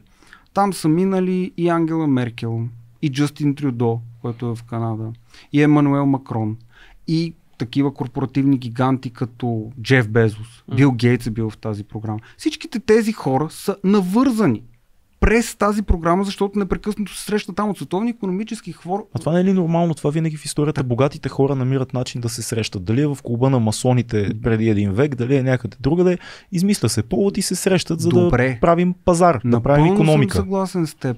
И значи и двамата сме съгласни. Това е 1% да речем от хора, който искат да контролира останалите. много по-малко. Много по-малко. Не, не, 0,1%. чакай, е, е, тук е тънката разлика. Дали искат да контролират останалия или искат да правят бизнес в възможно най-добрите условия за тях? Какво означава това? Ми, ти имаш, аз имам подкаст, ти имаш а, платформа, Мгм. ние се срещаме, пиеме кафе и си казваме, Марто Саша е много готино да направим един подкаст заедно, защото нашата публика ще види човек от другия а, сектор, твоята публика ще види някакви Да. либерали, такива, нали, жълтопаветни, не знам какви сме, цуросоиди някакви, примерно. Ще си поговорим и хората ще видят, че може да се Може случва двете. диалог без хората да се карат и няма нужда да се... И двамата печелиме. Приведено към економика, какъв е проблема? Цеци има фирма за слънчеви панели, аз имам фирма за, да знам, за желязо и се срещаме, аз ще ти направя стойките, ти, ти си най-големия това. Срещаме се и правиме бизнес. Ние не се срещаме да си кажем, а сега тези ще контролираме ще света." контролираме света и тези малки мравки ще ги Въпросът ти е великолепен и ще ти отговоря на него. Чак Първо искам, великолепен. много, много е точен, защото е въпрос, който би трябвало да бъде отговорен. Но ми хареса това, което каза, защото аз много се радвам, че се развива тази култура на взаимоотношенията, се опитваме да махнем налагането на штампи и образи трябва да за тия русофили, тия русофоби, Да. тия радикални Някой трябва да го прави. Някой Тия- трябва да го прави. За това аз съм тук и затова много се Да. радвам, че това се случва. В- На, на въпроса ти. Ако искам да имам все по-голямо политическо вли... а, така, ако искам да имам все по-голям капитал, М. следва да започна да имам по-голямо политическо влияние. Защото чрез политическото влияние аз започвам да уразмерявам капитала си. И постепенно се получава така, че има един Питър Тил, който е от създателите на PayPal и така нататък, от първите инвеститори в Facebook, всичките тези неща. Голям играч този. Той казва, конкуренцията е загубещ. Тоест, Хм. ако Монопол, трябва да монопол. пълен монопол на пазара, какво трябва да направиш, за да имаш монопол? Да, да изкупиш абсолютно всичко и да завладееш абсолютно всички пазари. Тоест, ти не трябва да бъдеш кон- конкуренция. И какво се случва Което днес? звучи по-скоро социалистически, отколкото пазарна економика. Да. Това е обратното на пазарната За това, економика. за това според мен а, ние преживяваме едната книга, която превело се казва Финалната игра на капитализма. М, Там между другото има и неща за световния економически форум, ако някой иска може да ги Препоръчвам да ги види. Как се казва книгата? Финалната игра Малата на игра на капитализма. капитализм. Може да се вземе изток-запад, предполагам да се поръча. Да, Да. да. А, та, това е този процес на поглъщане, който започва да става необратим. И заради това в момента има и заобикаляне на всички вратички и закони, които се създават от Брюксел. Тоест в един момент, примерно, всички са в социалните мрежи. Всички гледат я YouTube, я TikTok, я Facebook. Много, все по-малко хора започват да се информират през държавните медии и телевизии. И- Е, зависи. BBC все още държи стандарта в, за Европа. Които за цяла казаха, Европа, между другото, че след 10 стандарт. години няма да има BBC като такава Да, да, медия. но все още аз Точно познавам много големи журналисти, които казват, че това е така, жур- журналисти, които работят на европейския пазар, не само в България. Все още BBC държи стандарта за да провериш информация там. Няма, там не се допускат фалшиви новини, много рядко може да видиш нещо, което е непроверено от минимум три източника и така нататък. Така че не, е- не е съвсем така, но да, да кажем. Кое не е съвсем така. Ами, че е, хората губят доверие в националните Абсолютно. медии. Хората- губят доверие. И можеш да провериш дори статистиката в а, преди а, пандемията, колко хора в Америка са гледали BBC и как е така пада надолу Не, в а, момента. Америка не, говоря за Англия, говоря за Европа. Все още можеш да провериш неща в BBC. Но дай да не Но- на доверие. това. Въпросът е и, дали това, което искам е да въпросът. кажа, е, Да, че все не дали е по-малко... вярно, дали имаме доверие. Точно така, Не, е въпросът. друг, и въпросът е дали го гледат толкова хора, защото все по-малко хора започват да го гледат. Освен това, аз съм попадал на BBC Fake News, които след това обаче се мисля, че се извиниха, че е Fake News. Това, това Да, също да. Ще, се, ще се върна към него. Да. Ако, ако трябва, ще ми пишете, ще го пратя. А, това, което искам да кажа е, че всичките тези платформи социални, за които говорим, постепенно правят така, че а, те стават монопол. Тоест YouTube става монопол, Facebook става монопол и нали, много по-малко хора ще гледат Rumble. Но, а, да речем, края на 2020 година, само YouTube изтрива 9 милиона видеа от своята платформа. Това ще я те питам, между другото. Защо смят... е, ще, защото ще вкарам този въпрос тук. Защо се либерализираха толкова тези платформи, които говориш ти? И те имат строги, строги правила против hate speech, против... е, Това е нещо, което е много, много вече сериозно в техните политики. Защото те търсят как да направят езика си годен за да се намери начин по който да бъде премахнат ненужния. И ето ти сега много добър пример. В Германия RT, Мгм. което е Russia Today, Да. преди войната беше изтрито. Защото стана най-гледаното, най-гледаната телевизия в Германия не стана от основните първи втори, изведнъж стана Russia Today. Тоест, това е много сериозно, нали? Но защо стана това?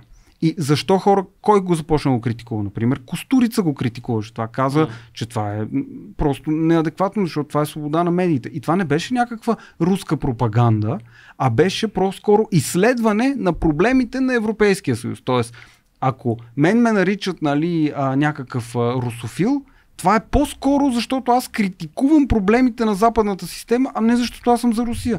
Аз не съм за Русия. Да, тия две неща не трябва да се бъркат. Но те се смесват непрекъснато, защото аз виждам огромен проблем в западната система и тя трябва според мен от корен да бъде преобърната, Тоест- за да има нещо да стане. С- Само да ти да. кажа за РТ, да довърша Да, да, да, мисълта. да. Примерно, Жижек каза, специално Славой Жижек, каза, Обичаме Жижек в този ако... подкаст. Така ли? Аз специално много. Та той каза за РТ следното нещо. Ако това беше някаква такава сталинска пропаганда, на никой нямаше да обърне внимание. Но толкова много хора гледат, защото те виждат документа. Дали няма много пропаганда по РТ? Има някаква пропаганда. Да, някаква. Аз ти говоря, Имаше си доста. аз ти говоря как се работи с някакви факти и неща. Да, да, да. Но въпросът Окей. е, че изтрива се от YouTube и в Берлин казват нищо не знам, нищо не чувам, не виждам, не вярвам. Това е преди войната. И толкова дълго време се говори, че няма кенсел култура срещу Русия. Какво стана сега? В момента, примерно, Гергиев, диригента, го махнаха от, е, от Европа. Ана Нетрепко, оперната певица, я махнаха. Забраняват Достоевски в, в университета Това е да се безумно. чете. Това, това Как мисля, е че дори, възможно дори няма нужда да го коментираме, че по принцип кенселирането на руската култура като култура е едно от най-идиотските неща. Аз също обожавам Достоевски и Чехов и така нататък. Това, това е ясно. Нали, Само... Ето генерално слагайки Русия като врага е проблем, Да. защото врага е един и той Но не това е правят в И Давос. той е значи- един диктатор. Значи, реално. това, което не съм очаквал наистина, защото аз ви казах, че се занимавам с това около Световния економически форум. С нощи по нова показаха Клаус Шваб. Аз щях да се застрелям. Не можах да повярвам, че се е стигнало до там. И излезе Зеленски, който каза Русия са голямото зло, те са демонизирания враг, единствения враг. И това нещо непрекъснато се показва, само това се пропагандира. И в момента, в който ти сложиш штампата големия демон и враг, естествено, че ще трябва да започнеш да кенселираш и Достоевски Да, и всички. така е. И това убива свободното мислене. Това убива ти Добре, да се но- замислиш така ли е, не е ли така. Ако кажем войната на Путин, това ще е по-точно, нали така? Ако кажем въпреки, битката че- на Путин, атаките битката на на Путин, Путин, тя- не, не руската а, така, Русия срещу света и така нататък. Според мен най-правилно да се каже, че от легислативна гледна точка това е незаконна война. Да. И това е същото, което беше в Югославия, март 1999 Съвсем година. различни обстоятелства. Съвсем различни Да. обстоятелства, но също е незаконна. Разбира се. И 78 дена бомбардировки също са незаконни. И това е един от, ако не се лъжа, дори може би е първия официален, ам, така да кажа, момент, когато НАТО напада нещо извън територията на НАТО официално. Ама това е... И това защо? За- Пак, Ма- ма защото това е- уж някакви права, малцинства. А между другото, много добре се сетих сега да ти отговоря на нещо, което не отговорих. Добре. За езика на, на, на цензурата, т.е. как се смъква езика и така нататък. Значи Брюксел се опитва да а, завладее дискурса на мисълта. Как става това? Примерно казва се думата геноцид. Брюксел казват какво е геноцид. Точка. И от тук нататък, ако това, което е станало в Югославия, се приеме за геноцид от страна на сърбите, никой няма право да каже нищо срещу него. Ако кажеш нещо срещу него, тебе те кенселират. Съгласявам се. Да. А, въпросът е... ама, ама, да, въпросът е тук, ето как, как казваш сега за... А, това не е един латабалтизъм. Защото ти казваш сега, да бе, тази война не е закона, ама тя и другата не е закона. В смисъл, какво значение има дали едната е закона или другата не е, говорим в конкретния случай. И това много често се ползва като опорки. Мгм. Да бе, Русия прави да, лоши то неща. е опорка. Аз Да. знам, че е опорка.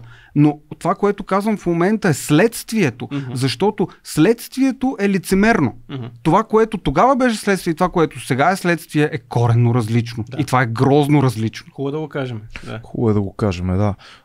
Друг нещо си мислих, докато те слушах, понеже вървиме нормално, като всеки епизод на 2200 във всякакви посоки. А, Надявам се да не е пекален хаос за тебе. Надявам се, че не е хаос, да. За мен е много интересно Супер, и да. дори ще ми е интересно как ще реагират хората, защото това е истинска култура на дебата, според Така е, мен, да, което Важното развивам. е да сме Извиняваме, че искрени. сме двама срещу един обаче, защото все пак не е. Даже и Фил тук се включва, така че. Фи- Фил е към тебе, Не е Фил, честно. Фил го слагаме в твоя Не лагер е честно, да сме но наравно. такъв е формат. А, да те питам, все пак, не смяташ ли, че има много сериозни доказателства за руска пропаганда в България и в Европа генерално? Има изключително така силни доказателства за кибератаките на Русия. Има клетки български, има тролове. Това са все реални неща, които да ти казваш, кенселират се, нали, може би медиите не са обективни. Съгласен. Може би се представя много често едната страна, но от другата гледна точка седят едни гигантски трол ферми, които само като пуснеш един пост в интернет, който е свързан с Украина, и ти се включват изведнъж 150 а, ника отдолу, които са такива не, неясни. обратно. Една Обратното- снимка профила. Пре- преживявал съм нещо да пиша, което да звучи много проруско, защото аз в момента трябва да си изчиствам звученето. Явно аз като говоря и критикувам Запада, звуча много проруско. И съм виждал тролове, които се оказва след това, че са тролове на Да България. Аз никога не съм виждал не съм тролове на Защото явно Значи не видиш- пишеш. Може би да, може би Не да. знам, аз не мога да Аз мисля, че е изключителна грешка да се смята, че критикувайки Европа и Запада, ти по някакъв начин се а, така изравняваш с Русия. Мисля, че това са две тотално различни неща и не бива да се бъркат Да, обаче работи. се случва и ме е интересно защо се делим на Запад и Русия. Ама къде е другото, което не е нито Запад, нито Русия? Очевидно не е Китай. Ама къде е това? Къде намираме... Точно това Нашето- според мен е големия проблем.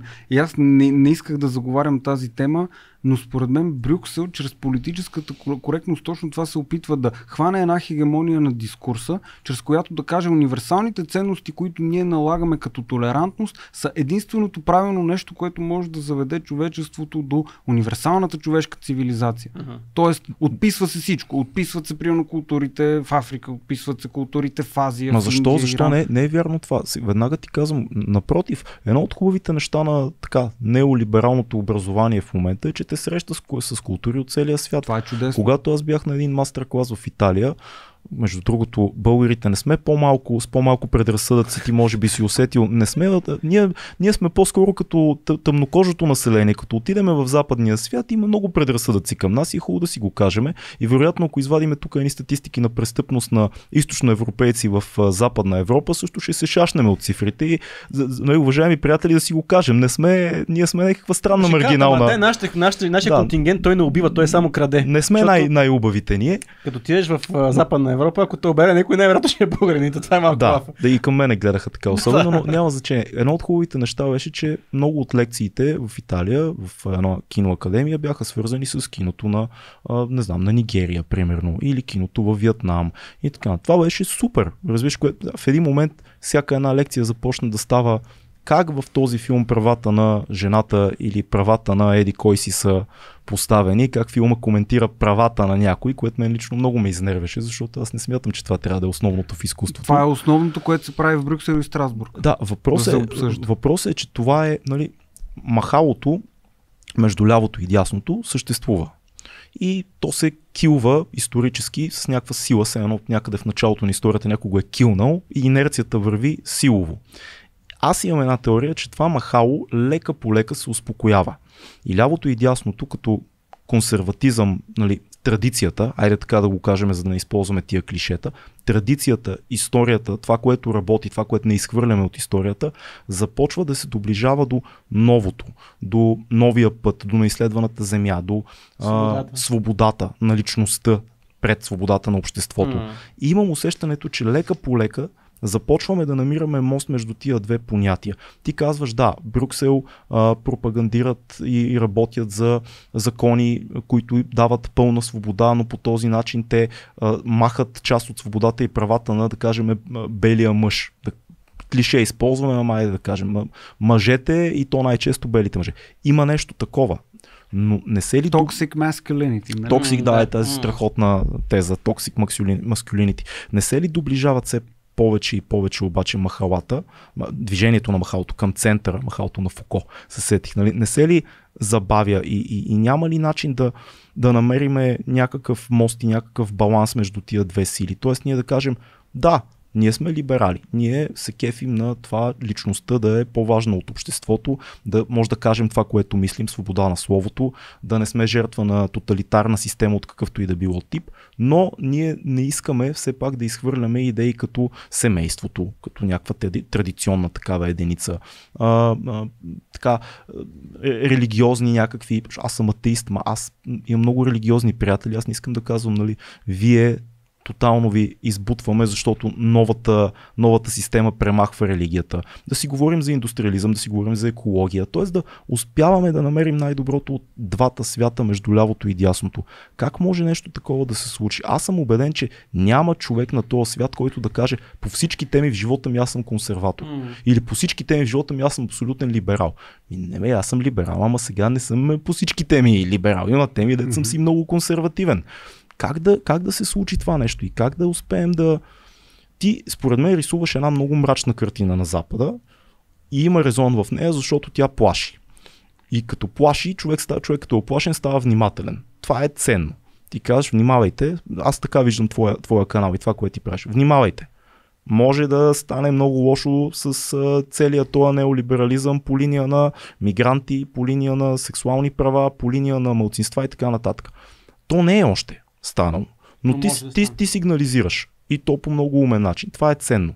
Но как да не се затвориме в лагерите и в балоните си? Как да, да се случи диалога между тия две а, гледни точки, които много хора казват, това са две противопоставящи се гледни точки, а те са всъщност две точки на една цяла ос. Те са две, те са две монети, двете страни на една и съща монета, реално. Според мен въпросът ти става много философски тук, но би трябвало да има някакво практическо измерение, М. доколкото разбирам. В момента, в който заговори за това Махало и каза, например, но аз съм атеист, но някой друг е християнин. Аз Да. имам приятели християни, както е сега, примерно, ли беше Михаил Кунчев при вас и така. А според мен в, в, на този етап не би следвало да има значение дали си атеист, а, християнин или мюсюлманин в момента, в който ти действително си отворен за един вид свещено осезание на битието, т.е. за някакво перманентно възприемане на, на настоящето като как да кажа, не искам да се изразявам, Сакрално. не искам да се изразявам твърде сложно, опитвам се да го да Ма го не дей бе, упростя. изразявай се както искаш. Това не е, ние не сме Карбовски. Няма нужда да сваляме еле. да.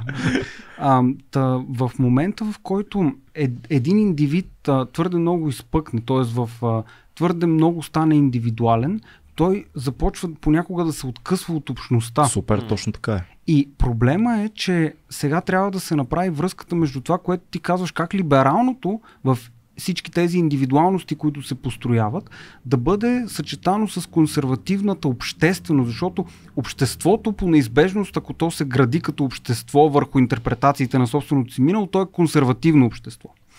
Но се По получава дефиниция. но днес се получава така, че неолибералното започва да окупира настоящето. Сега това звучи малко абстрактно, но какво им пред, предвид? Например, тинейджерите започват да живеят в едни сторита. И тези сторита през цялото време едно след друго те ги скроват и те мислят, аз сега съм тук в настоящето и във времето. И ако аз спра да гледам тези сторита в Инстаграм, аз ще спра да бъда във времето.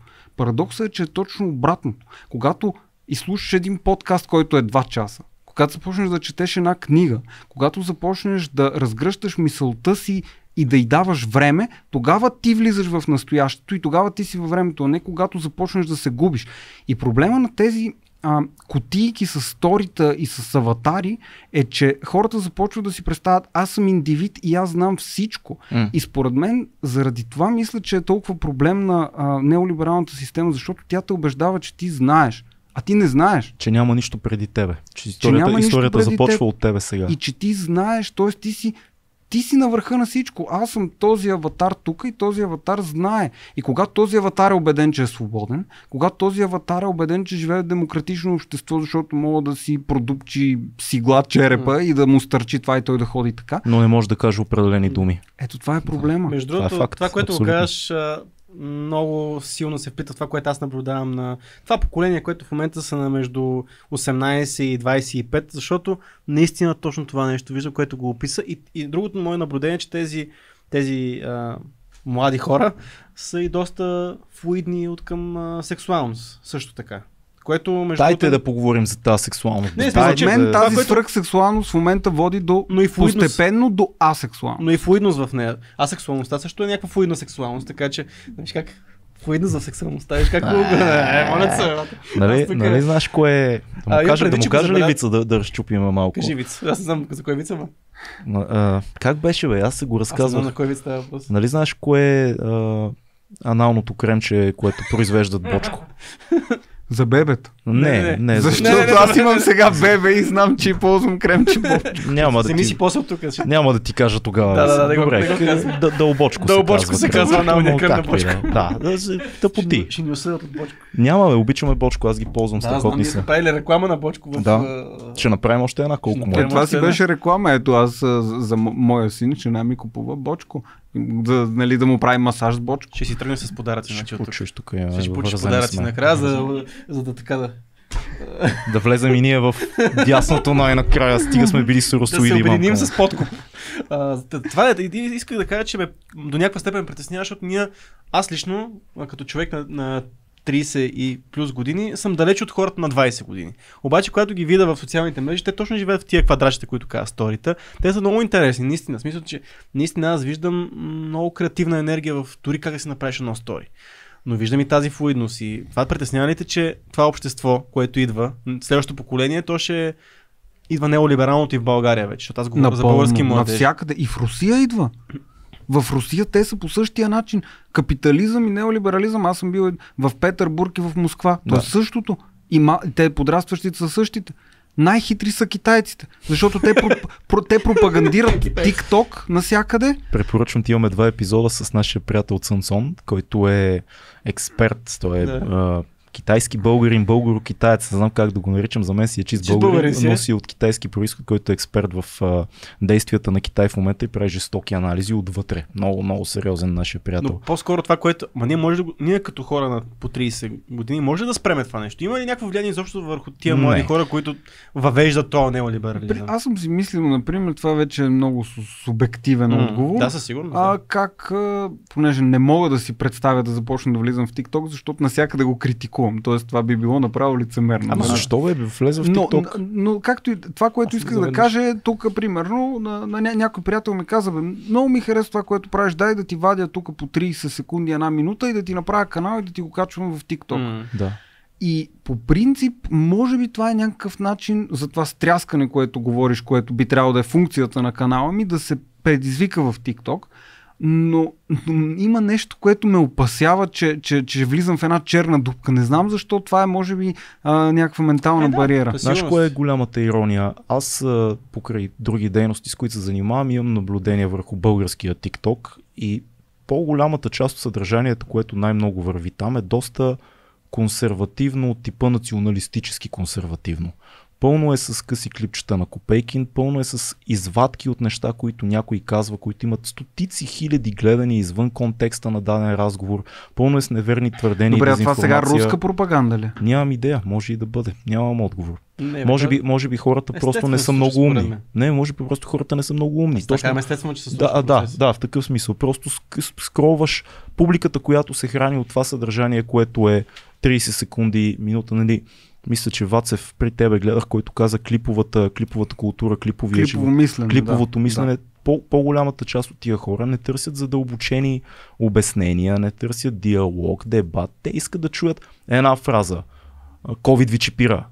И нали, примерно някаква допълнителна информация, псевдонаучна и ти го такаш лайкваш. И Земята е плоска. Земята и, е плоска, 5G ни убива гълъбите. Има някакви такива такива неща, неща, но покрай това е много голяма част от това съдържание. А, проблема с а, всички тези теории на конспирациите е, че те се смесват понякога с истината. И когато излезе една истина и тя бъде заклемена като теория на конспирацията, веднага ти вкарваш, че човека е, а, как да кажа, плоскоземец. Ма това е хубаво, аз ще я те питам. Точно, точно това исках да питам. Това... Да, кажи. Например, ето сега хората толкова много обичат да сложат штампа, просто М. защото ти искаш да фиксираш някакъв модел на мислене. По-удобно е, когато спреш да се съмняваш какво е това и си дадеш отговор и така фиксираш штампа.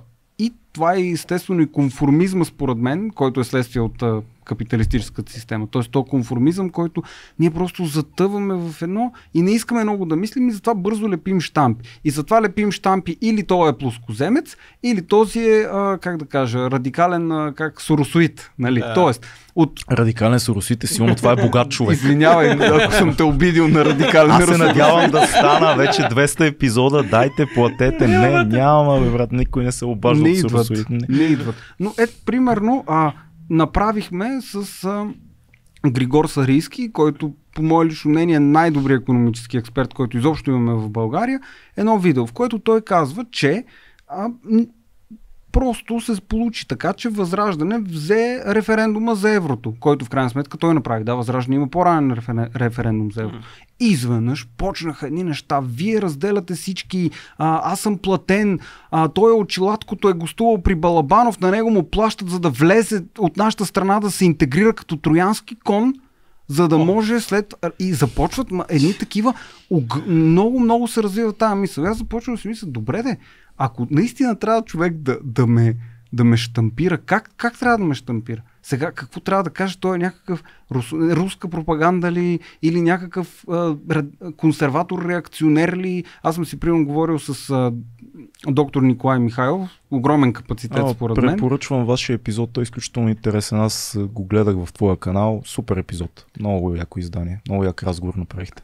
И той казва за че той ми е казал лично, че се смята за консерватор-реакционер, например. Да. И това е т.е. начина по който възприема. И добре, аз какво да кажа? Не съм, значи какво съм? Руска пропаганда съм. Ето сега а, част от нещата, примерно, които казват възраждане, въпреки че тази патетика сега на всяко второ видео извънредно, извънмерно, това, това, тази патетика на мен ми е много сложно. Просто за понасене. Аз имам много силна чувствителност към думите и езика и, и това ме стряска. Обаче като кажа нещо, което прилича и изведнъж, а, той е плоскоземец, значи. Това е директният извод, няма никакво мислене. Ето за това правим такива разговори. Да, или примерно а, начина по който Путин много нежно така го заговаря за Достоевски и казва тук нещата, нещата за Достоевски а, към западната пропаганда да бъдат съотнесени. И част от нещата, които казва за Путин за западната пропаганда, аз съм напълно съгласен с тях. Ма не съм путиноид. И какво става? това- Какъв са, каква е не тази пропаганда? Ама ти не може да бъде Каква- сложен в На- квадратче, което е проблем. Ето това е проблема. Ама не, виж, ми това, го се- има, това го има и от другата страна. Да, как факт. може да залепиш етикет, да кажем, на професор Калин Янакиев, който е супер либерален, но това е богослов. Това е човек, който познава християнството и преподава християнство на много високо ниво.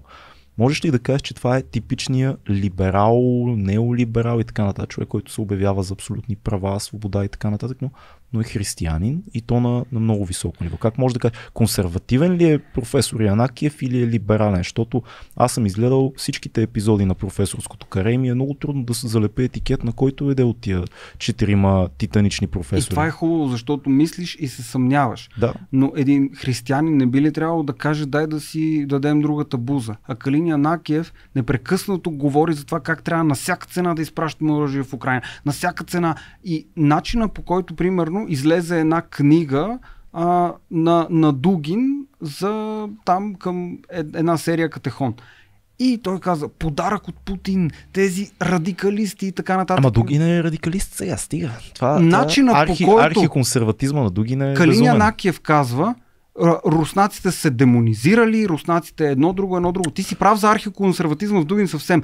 Но наистина, честно ти казвам, според мен, начина по който Калин Янакиев, професор Янакиев, възприема демонизирането на Русия и говори за него, прилича на начина по който Дугин говори за демонизирането на Не Запада съм, в не съм- огледало. Не съм сигурен. Има защото- огледало, по думи могат да бъдат сравнени. Мога да ти кажа, а, професор Янакиев реагира на оправданието на Путин за този рус, руското православие.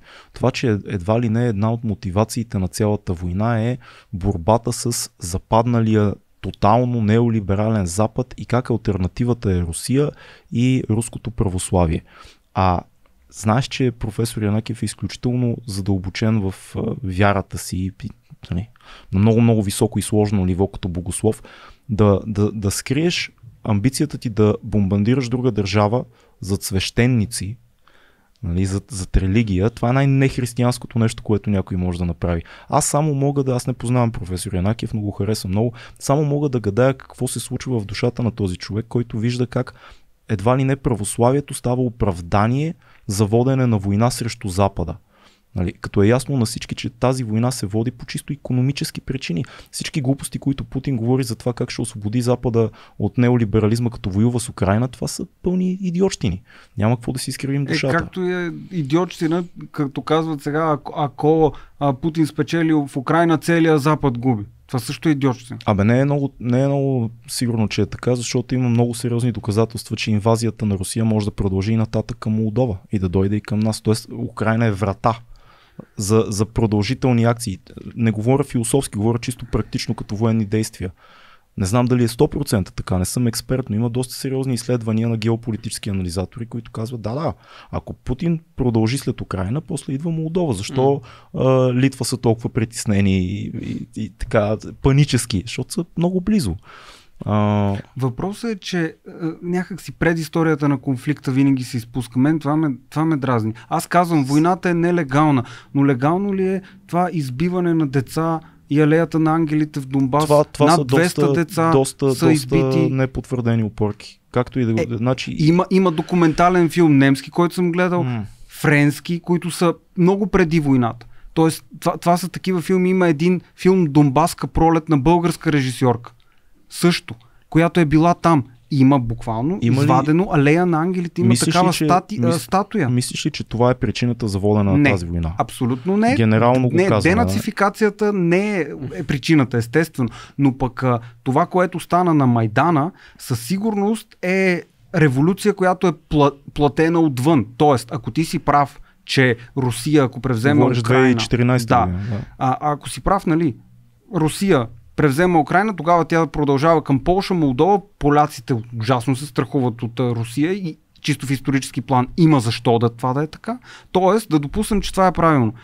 Но начина по който се е стигнал до там с обръщането на правителството в Киев също е нелегален, защото това са буквално стотици милиарди, това са, има, това вече са документи. Тук наистина има такива документи, как, както Америка за България тук дава за България, е давала за Украина, както и, и, се, и сега се става преди Майдан. И в Запад, Брюксел започва да представя Майдана като едно много демократично движение и става много трудно, когато те започват да хвърлят а, горелки, огнени неща там, когато изгарят хората по време на Майдана. Тоест, и Брюксел трябва някакси да, да го скрие това нещо. И затова това не се говори. А, а, ако, добре, съгласявам се с теб. Путин е толкова опасен, че ако превземе Украина, той ще продължи нататък и това ще срине Европейския съюз. А защо Европейския съюз не може по-рано да е говорил с Путин, за да. Защо трябва да се прекъсне, както стана с а, Nord Stream 2, нали, и така нататък. Всички връзки се прекъсват. Би трябвало да бъде точно обратното. Защото ако ти си отворен, според мен инвазивната политика изобщо няма да протече по този начин. Самата комуникация изобщо, според мен, и това са го казвали дори американски генерали и професори, е големия проблем е германската економика да не се свърже с руските ресурси. Ема и според тя- мен тя в исторически план това е и било и в а, преди Втората световна война. Аз имам чувство, че най-големия проблем сега беше колко е свързана германската економика с руските ресурси. Всъщност това е един от най-големите инструменти на Путин да изнудва Европа. Тази грешка Европа да се обвърже а, чрез газовите си тръби с Русия. Да, ама се освобождава малко. Но- Ма, се, но- сега да, ма виж Да, при какви ама, какво трябваше да така, стане, така, за да така. се разбере нали, това нещо. Но не е ли важно все пак и това, което каза Меркел, че тези мински споразумения така и така е нямало да се спазват и е, използва, се използва прозорът от възможности, за да бъде въоръжена Украина. Това означава, че те са се готвили за война. И е било въпрос на време, кой ще е първия. Всички световни наблюдатели бяха наясно, че ще се случи нещо, в Нещо. Украина. Тоест, Не, не, въпросът е бил обаче кой ще бъде война. първия. И когато Русия е влязла първа, тя става агресора. Но това е много дълго време предизвиквано. А ти мислиш, че Украина ще да нападне Русия? Аз мисля, че много дълго време се е готвил НАТО да навлезе и да се установи в Украина. И в момента, в който НАТО се установи в Украина, имаше, преди да започне войната, а, НАТО беше казал, че ще сложи ракетни установки около Киев, чието всъщност летене до Москва е точно 5 минути. Веднага ти пускам Да. един коментар. Европа има интерес Украина да спечели войната до някъде заради зърнените култури, които тя предоставя. Това в, в страни дълбо, това в страни от дълбоко моралните причини, които гостът пропуска. Не моралната, демонизираната от госта Европа защитава нападната страна. Не демонизираме Европа. Иначе за филмите, нека видим какво е финансирането на тези филми, които спомена. Няма как да знаем в момента и да разберем. Добре, може да го проверим. Аз мисля, че ти изхождаш от любовта към европейската култура и затова посочваш проблемите, които виждаш в бъдещето. Не мисля, че демонизираш Европа, по-скоро виждаш една друга Европа, която те плаши и която е така Не е изключено да се случи, но само да, да завършиме, за да не изпадаме в политически анализ на, на войната Да, в Украина. да. Мисля, че всички се съгласяваме, че каквато и да е геополитическата обстановка, комплексна, исторически и т.н. В момента тази война не е морална. В момента една държава, която обстрелва невинни а, и в Киев, и в а, Мариопол и така нататък, това не е окей. И, и мисля, че света има право да каже, пичове, това не е окей.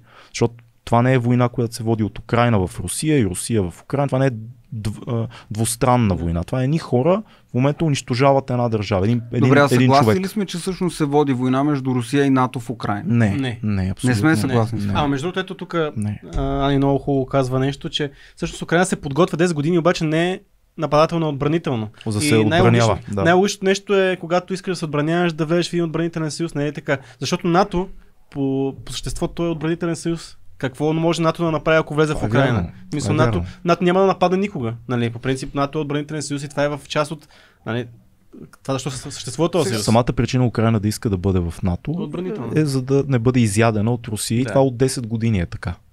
Но има огромна част от украинците, които са практически руснаци, искат да бъдат руснаци. Така е факт. В да. Крим 99% от хората говорят руски. За това И, си, и, и а тези референдумите в Крим, те не са измислени. За Там това- хората искаха да бъдат част от Русия. Вчера, вчера снимах една, снимам един документален филм и една от героините, която е таврийска българка, малко да умекотим установката, да не станем политически анализ, а, Катя, която е, значи нейните пра, пра, пра, пра, пра дядо и баба от България, от Троян, отиват в Украина, правят едно село, което се казва Андреевка, Андреовка и а, тя ни разказваше, тя в момента мисля, че около 50 на годишна, как като е била ма- малка, значи това е българско село, Андреевка, и само българи, които се местят в Украина. Нали? Да кажем информация, таврийските българи са като бесарабските, само че са в Украина. А, бесарабските са по-нагоре. А, тя разказваше как всъщност на тях им е било забранено да говорят на български. А може ли се да говорят само на руски публично, в училище и така нататък, на, на, навън. А, само на почивки и, и вътре в семейство са може да говорят на български. В Кое- Украина. Да, В коя част? А, Андреевка, това е до, а, това е за Порошката а защо тогава област. всички разказват, че е станало това с а, украинския, т.е. това, за, че се е било забранено да се говори български, Мгм. от бесарабски българи, Мгм. които дори Таврийски. дойдоха в България. Да, да, ти Да. каза това, но Да. от бесарабски българи се каза, че е било задължително да се говори само украински след Майдана. Не, тя разказваше за руски. Не, това, това е много по-късно. Аз ти говоря за нещо от преди, Аха, че, да. като е била тя малка, значи тя е преди Еми, 40 значи години. ответна реакция. Ето виж, тогава е било задължително само руски, след Майдана казват само украински. Това е, отговарям. Интересното е, че примерно в Запорожката област се говори 50-50 руски и а, украински, доколкото знам. Говорят се и двата езика. Аз познавам едно момче от Запорожката област, което другото, говори предимно руски. Аз му казвам, добре, че не... Той казва, всички, всички, понеже те са Запорожието е да кажем близо до Русия, то е на, на, на изток, реално до, до, до морето. А, там се говори предимно руски. Те са под влияние на а, Русия до така степен, че повече руски се говори, отколкото украински. Тези хора из- избягаха и са дошли в България в момента. Те нямат много топли чувства към Русия, да ти кажа честно. Града им е Никой окупиран. не би трябвало да има топли Не, чувства. не, нито посрещат, към... не, не, не Аз- посрещат окупаторите като освободители. Това ми е мисълта. Когато окупират Бердянск, техния град, те са в ужас А и българите бягат. посрещат ли руснаците освободители, като освободители 1878? Посрещат Не е вярно това. 1000... Не, не, тук. Това, това просто не е вярно. Дори, дори Достоевски в дневниците си пише как а, всъщност отиват руснаците, които са бедни руснаци, отиват да се бият тук с турците и изведнъж виждат тия българи тук. Те, са, те, са, си, те си имат къщи, те си имат живот, те си имат някакви стада. Ние кой идваме да освобождаваме точно? И много често, много българи, много чурбаджи, те са били пред, против това, против това разместване на пластовете. Да, има много противници Но- на освобождението като цялата. И това са много хора, естествено, Така е. не всички. Богатите Но си хора виждал всички кадри как на, нали, на площада, как се посрещат по улиците, цветята, хората. Тоест, Кои идват- кадри от идват- 70, идват от- 878? А, чакай, аз говоря за 44-ти, говоря за 70. А, да, не, не, иначе, да. иначе за 44 Той говори за се- 45 да. аз говоря за, за освобождението, руско-турската освободителна война. Иначе, когато, Ние отидохме в когато София. Да, Сталин да. влиза в България, то след това естествено имало и в началото на комунизма имало терор, Да. имало е Белене и така нататък, но това го е имало и в, в Русия. Но в крайна сметка какви са, какви са последиците? Че когато излизаме от комунизма, Сега ще излезе, че съм комунист. Не съм комунист. Но когато излизаме, Аз знаеш колко комунизма- подкасти ме изкарват социалист, като Аха. говоря за бедните хора в България и се казва, той е социалист, Да. бе. но, Това... но ние сме били 27-ма економика в света тогава, когато излизаме от социализма. И това е много сериозно. Сега сме На, на, толкова на назад. цената на какво сме били 27-ма економика? Населението ни е било толкова по-голямо. А колко дългове имаме, колко заеми сме взели от Съветския съюз, за да съществува тая економика? Изплащали ли сме ги след това 90-те години? Еми, не, знам, не, М. той се разпада, не ги изплащаме, но, разпада. но ако, не се, ако се беше случила социалистическата мечта и се беше реализирал комунизма, дали нямаше, дали, колко, колко са искали да ни глътнат към Съветския съюз? Но виж какъв е резултат сега, So, примерно това е една 33 илюзия, това е една утопия. демократичен преход с стапянето на населението в България. Защото е толкова чудесно, че има нали, свободни граници, че можеш да пътуваш в Европа и така нататък. Но- Чудесно, е, разбира се. Да, но затова пък България в момента изчезва. Защото всеки, който има малко повече акъл, знае някакви езици, има някакви умения, просто заминава. Защото е много лесно. Това- Тогава не е било лесно и тези акъли са оставали тук. Което не е добре, Ама чакай, то защото трябва- е полуавторитарно, т.е. Да, не може да минеш. нещо да ни Но издържи тук, това не е- не е- развива наукоемки економики. Да. Това е нещо, от което ние сега имаме нужда. От отрасли, които да ни задвижат изобщо някаква економика в България. Да, доста За хора се връщат. нещо. В момента се връщат и доста аз, хора. и аз имам такива наблюдения. И това, и това може би е хубавата новина, но всички сме наясно, че най-големият ни проблем в България не е точно коя е, коя е политическата идеология, която води. Имам предвид дали сме малко леви или малко десни. Проблема е корупцията.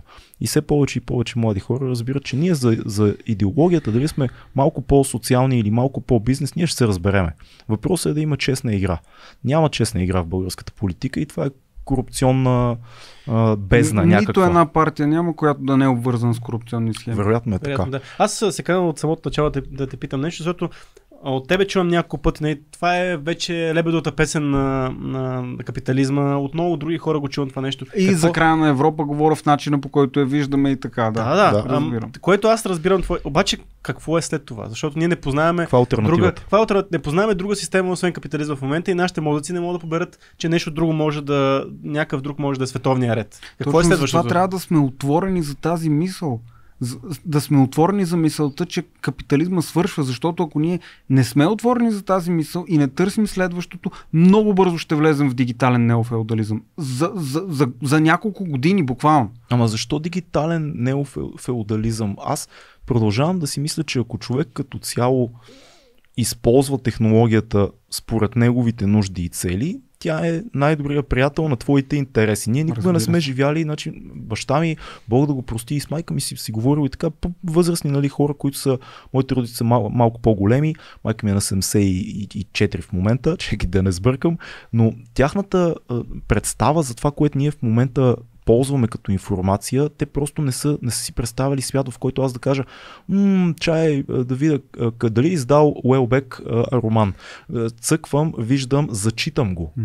Зачитам го. Чакай да видя Уелбек какво мисли по някакви въпроси, пускам си двучасов подкаст с Уелбек някъде. Чакай да видя а, който и да е, каквото и да е в моя сектор на интереси в момента е достъпно. Искам, искам, да, искам да видя, не знам повече, сега Не, ще ме убия мълния, но професор Иво Христов искам да видя какво мисли. Пускам си в интернет стотици хиляди клипове и, и, и, и слушам. Вместо Не, да е както преди до- 30 години да трябва да отида да го слушам в Софийския. По-сериозен пример ще дам, извиняй. Да. Онзи ден така снимахме едно момиче, което има а, един датчик, който е за следене на кръвната захар, защото е болно диабет. А ти тая гледна точка. за гледна точка, защото това е доста по-сериозно, нали? Ти имаш в момента излиза ти на апа, може да даде нотификация, ако ти е висока кръвната захар. Може, ако, има, ако детето ти е с а, диабет, не дай си Боже, че може да прати на родителите нотификация. Това нещо може да се използва. е това. Да. И ако примерно, най-прост пример, ако примерно не се сещаш да пиеш вода, То може да си цъка, да. направиш Да си приложение да. да. ти напомня. Ама много хора ги е страх от това, че това нещо може да си софтуерен Не. апдейт, да ти следи някакви други неща. Как- като не, казваш- проблема според мен е, че Дефинирай дигитален феодализъм. Да. Това ни е идеята. Защото ние харесваме технологията, много Да. ти също, очевидно. очевидно, нали съм Къд- тук в този подкаст, правя Изпо- подкаст, Да, използваш. достигам до хората Да. през, през, дигитали... Да. през, през дигиталната сфера, въпреки че YouTube ми изтрия едно видео, но това е друга тема, т.е. може и да, не, да спра да достигам, но това А и, и монетизирани Брюксел сте- няма да е... Интересно, монетизирани сте видеята или се или имаш И, там проблеми тоест, с тая... има някои, на които се появява Limited. такова жълто, Limited, че... да. Да, окей, това ми беше въпрос. Да. А, Но, но по принцип, ако бях на английски, говорехме същите неща, Нямаше да си нямаше, нямаше да съм А, и ние, и ние най-вероятно. най-вероятно, въпреки че имаме имаме много... Тоест там, там се ловят много думи. Ой, Фил един път каза една смешка за евреите, то просто ужас. ужас, ужас. Няма да ти кажа. Не, вика, вау, аз помня и се радвам, че още сме в ефира. Да, та, проблема според мен е, че а, в момента децата стават зависими от това. Да. Те спират да търсят познание. Какво значи това? Тоест, аз ако искам някаква информация да имам, тази информация веднага мога да я чукна в чичко Google, да я намеря и затова няма нужда да я знам. Да. Обаче, ако ти нямаш информация в главата си, ти не си го способен да я комбинираш така, че да започнеш да създаваш познание. Тоест ти да започнеш действително да опознаваш света около теб. И затова има такъв спад в момента и такова масово затъпяване. Е, Не може, не може, не знам според мен да не се забележи как точно този див консумеризъм води до масово затъпяване. Ти отиваш за черния петък, впрочем, как... А, сещам се, сетих се просто случайно за Как първия, първия черен петък. Да, да, да. Първият черен петък, мисля, че най-известния, е от 1929 година, когато се срива Нью-Йоркската борса. М. да. До какво води до това? До голямата депресия в Да. Америка, която впрочем по косвени пътища дори докарва на, на, на, нацистите на власт в Германия. Факт. Но а, това, което искам да кажа е, че какво прави, води, значи, до какво води черния петък, то още тогава е станало. До голямата Е, депресия. Е, да, да, Защото ама, това е ама... купуваш, за да компенсираш вътрешни празнини. Чакай, бе, Постваш не, не, стори, за да компенсираш вътрешни празнини. Не, не е задължително. Понякога До голяма стори... степен аз Чакай виждам. сега. Понякога постваш стори, за да изрекламираш бизнеса си. Или Е, да. нещо готино, което правиш. За да отидат хората на театър, на кино или на изложба. Понякога си купуваш нещо, което не купих запълва. петък, Той си купи часовник, да като ходи да тича там по планината, да знае, къде съм. да не го изгубим, защото ни е важен за подкаст. А, понякога, примерно на черния петък, ако ти имаш бизнес, ти правиш оборот, който може да поддържа бизнеса ти над водата, ако се е случила една криза, да кажем, като COVID. Тоест има, има и друга страна на цялото това нещо, което не е само празнината. Сега, оня ден си купих едно сакенце. Много готино, взех си го на оферта от един магазин, няма да кажа коя, защото не, Не, не казвам, че запълваш Да. празнина с си едно сакенце, не там не, защото имам празнина, защото си казвам, имам много свичери, имам много ризи, па да си купя едно-две сакенца, имам премиери на филми, предстоят това онова, да си купя едно сакенце. Моята приятелка каза, само гледай да не приличаш на банкер с това сако, защото ти не си. Аз казах, не, ще си избера хубав кежуал модел.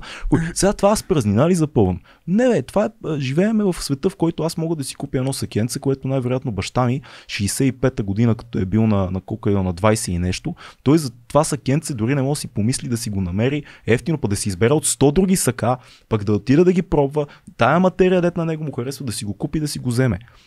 Да, но когато Камо ли пък да отида на те фестивал, заливат- на фестивал в Германия да си прожектира филма, както аз отивам. Напълно съм съгласен и точно това движение е много, много важно между границите според мен. И дори бих казал, че Еразъм програмата е едно Супер е. от най-изобщо, ако не и най-ценното нещо на Европейския съюз. Тоест това движение, М. този обмен на културите.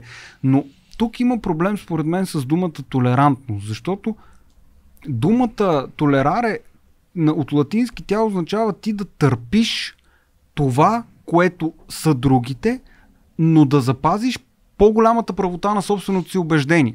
Това според мен е нещото, което не го виждам. И ако се направи така, че да, да има, да си има обменни програми, да ходят всички да виждат сега, да видиш за половин година в Испания, за половин година във Франция, да видиш какво е, да обмениш хора, да поддържаш дълги контакти с тях. Това е великолепно. Но не би трябвало заради това, примерно, да отречеш всичко българско и да започнеш, както в момента а, тинейджерите говорят те си мислят, че знаят английски и вкарват едни думи в български язик, с които го усъкътяват А, до това и ние го правим, не само тинейджерите. Езика е динамично нещо, променя Езика се. е динамично нещо, но когато започнат да се губят думите в него, ти започваш да губиш връзката с Съгласен тези, които съм. преди са ги изричали. Съгласен съм. Това, е- това е важно, но нека не сме от тези така, крайни консерватори, които когато кажеш чуждица, нали, сега, апдейтнах си лаптопа. Нали, много по-ясно ще ме разбереш, така апдейтнах си, отколкото обнових си, друго. обнових си лаптопа. А, така е. Но това са думи, които са навлезли в последствие с новите технологии. Да. А в момента а, младите говорят за нещо, че били кринджвали за едно, че за едно друго. Ма кринджа е много специфична дума. Аз съм на защитник на, български. кринджа. И аз съм да, Добре, но- хубаво, остави, остави я Ако тази кажа дума. Аз, аз като я не е чуя същото. се, се изприщвам, но това няма Кринджваш ли значение. като- Кринджваш? Ето ти кринджваш, като чуваш за кринджа. Добре, Ето. с това съм съгласен, но за мен чуждиците би следвало да влизат и да се използват в езика само по две линии. Едната е новите технологии, новите предмети и новите неща, които се налагат. Тоест, ако едно сакенце влезе с ново наименование, ти го наричай с новото наименование. Това няма проблем. Нека да не е сакенце, да е нещо съвсем конкретно. Другата линия, и Блейзър. както, и, Блейзър. примерно, или както апдейтнах, нали, защото това е нещо ново, актуализирах си системата, актуализирах пак е чуждица.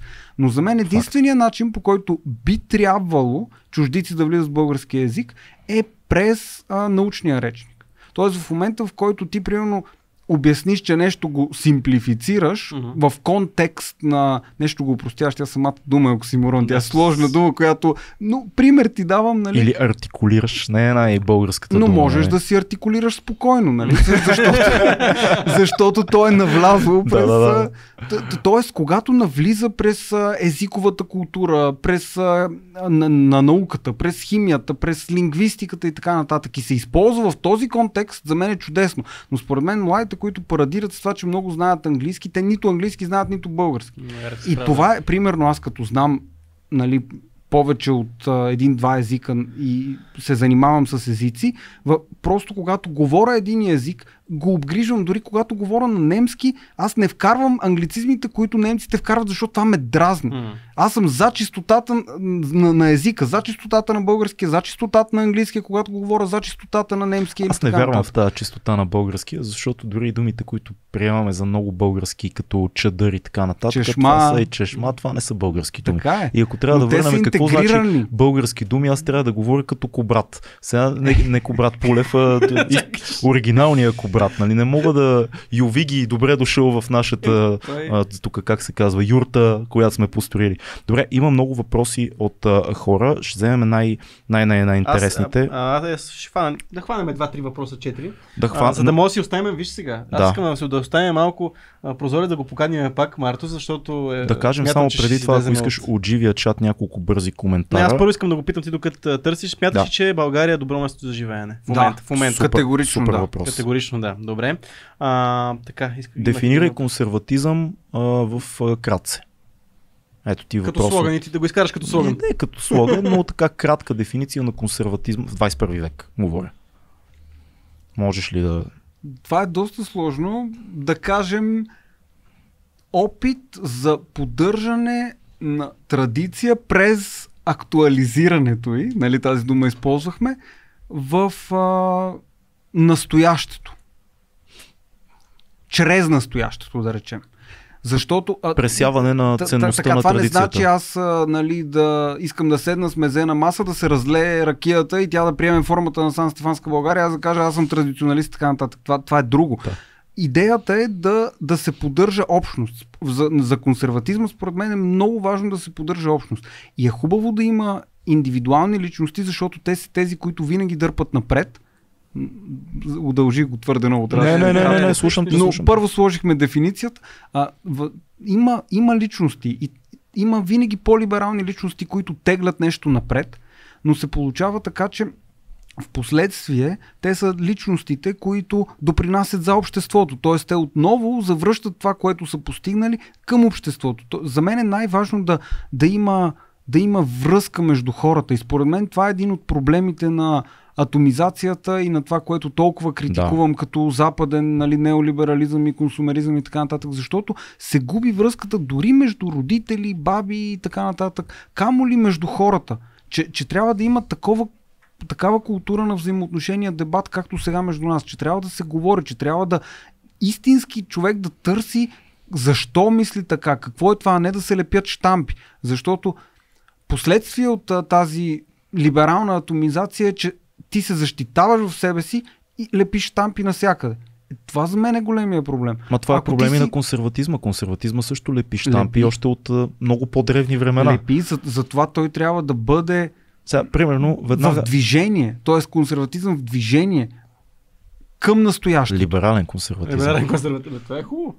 Да, Има ли Да. дума за това, която е по, Всъщност, по-добра? Има, и Неоконсерватизъм. знаеш ли, има, има не, в- в, в неоконсерватизъм една е книга, която преведох е. обновлението на Европа, има една Шантал Делсол, френска философка, която преведох, защото тя книгата е на много езици, аз от немски я преведох, но по принцип има Мгм. нали, патент да се преведе от немски, не е патент думата.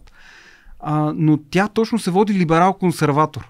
М. И това, Това май за мен е много май съм аз, май се намерих най-после. Това май съм аз. Може да ти стисна ръка. Аз съм също това. Е, Да, айде, айде, така го правим.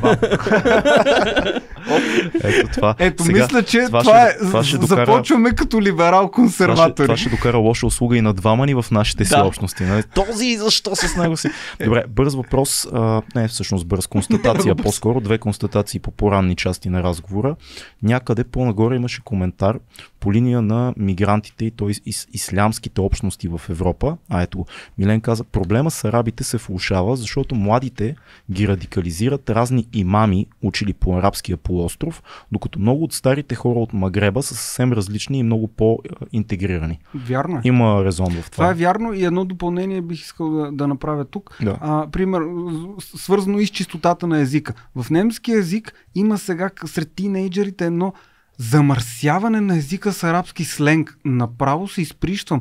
Арабски Това- сленг? Да, ами буквално все едно представи си как да ти кажа? Все едно да почнем така да ти говорим на български. Е, Само, те, че те започват- хората така ми говорят, да, Марта. Ама, ама, ама започват така, нали, на немски. Та, то така е, аз те разбирам. Ама, ама имам предвид, това става да използвам чуждица. Нека да използвам чуж- чуждица. Това става тренди в Германия. Ами, Той актьор не забравя, много му е лесно така да превключи веднага и да това е просто. Да, да, това- разбирам това, е, това наистина ме отблъсква страшно много. Но тук въпросът, че въпросът е до култура и образование. така е. Основно. За, но образованието е надолу, навсякъде. Втори а, коментар. А, в Европа се радикализират и много млади европейци, което също е проблем. Убийство на 77 деца на политици през 2011 в Норвегия, познаваш много добре случая, предполагам, има и много хубав филм. Ако извършителят не беше част от либералното общество, сигурно щеше да бъде застрелян на място. Но при ареста му се зачитат всички негови права. Удобно е да си крайно десен в Европа, до степен да убиваш заради политиката на страната по отношение на различните в либералната страна. По- По отношение на различните в либерална страна.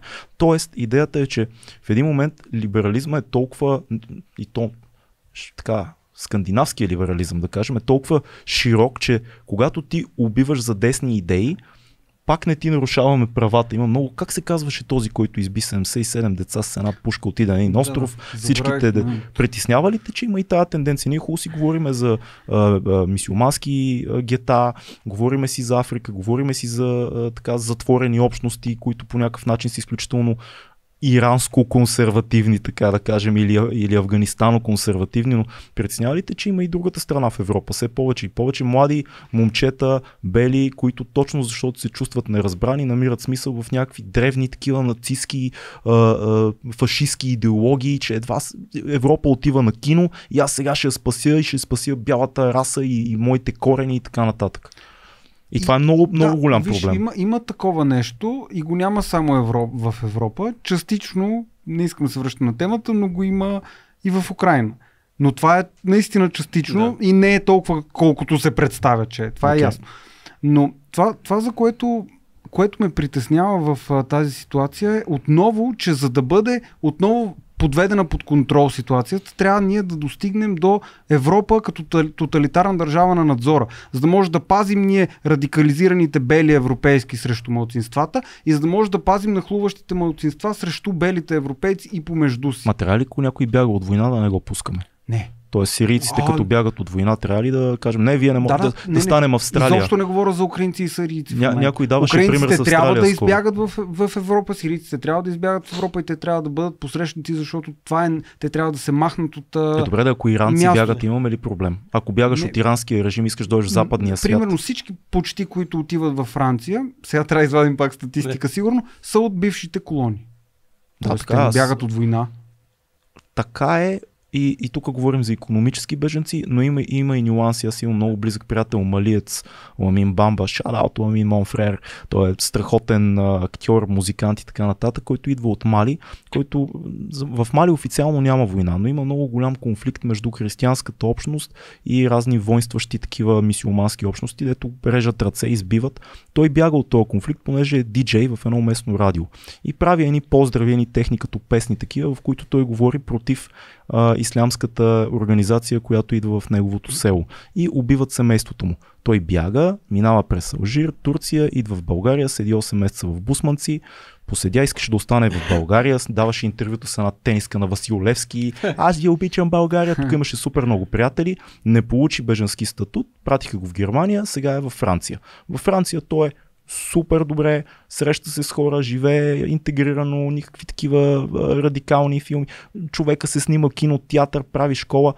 Пример ти давам за човек, който е економически беженец по документи, но той идва от едно място, нали, което ние тук като едни бели момчета, дет си живееме нашия живот, не може да си представим, камо ли пък аз като някакъв изпълнител, да изпееш нещо. Аз имах една песен за Бойко Борисов с примката преди години. За такива неща има части на света, за които убиват семейството ти. И ти бягаш. И ние какво трябва да кажем сега? Този е черен от Мали, а, няма да се интегрира, ще отида в гетото, не го пускаме. Така е, прав си. И, например, аз познавам също а, едно момиче от Монголия, което там е било оговорено да се ожени за, за някой, някой си монгол или Казахстан. Извинявай, Казахстан, мисля, че беше общността. Забравих. Но, но както и да е, тя е просто на, на мой познат приятелка в момент.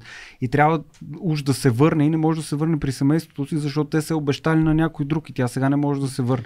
Ето това е архиконсерватизма, за който говориш. О, и да, той е да. проблемен. Да. Но за това трябва да се гради нещо като либерал-консерватизъм. Проблема, единствения с това с либерал-консерватизма, е, че ако толкова много се местим в либерална насока, той ще си бъде либерал-либерализъм. Да. Разбираш ли сега, колкото и да е странно да звучи толкова да размиваме понятията, но ако, ако отидем крайно в посоката, както в Калифорния едно дете може нали, да... Така, знаем ги Да, нещата, как са много е крайно.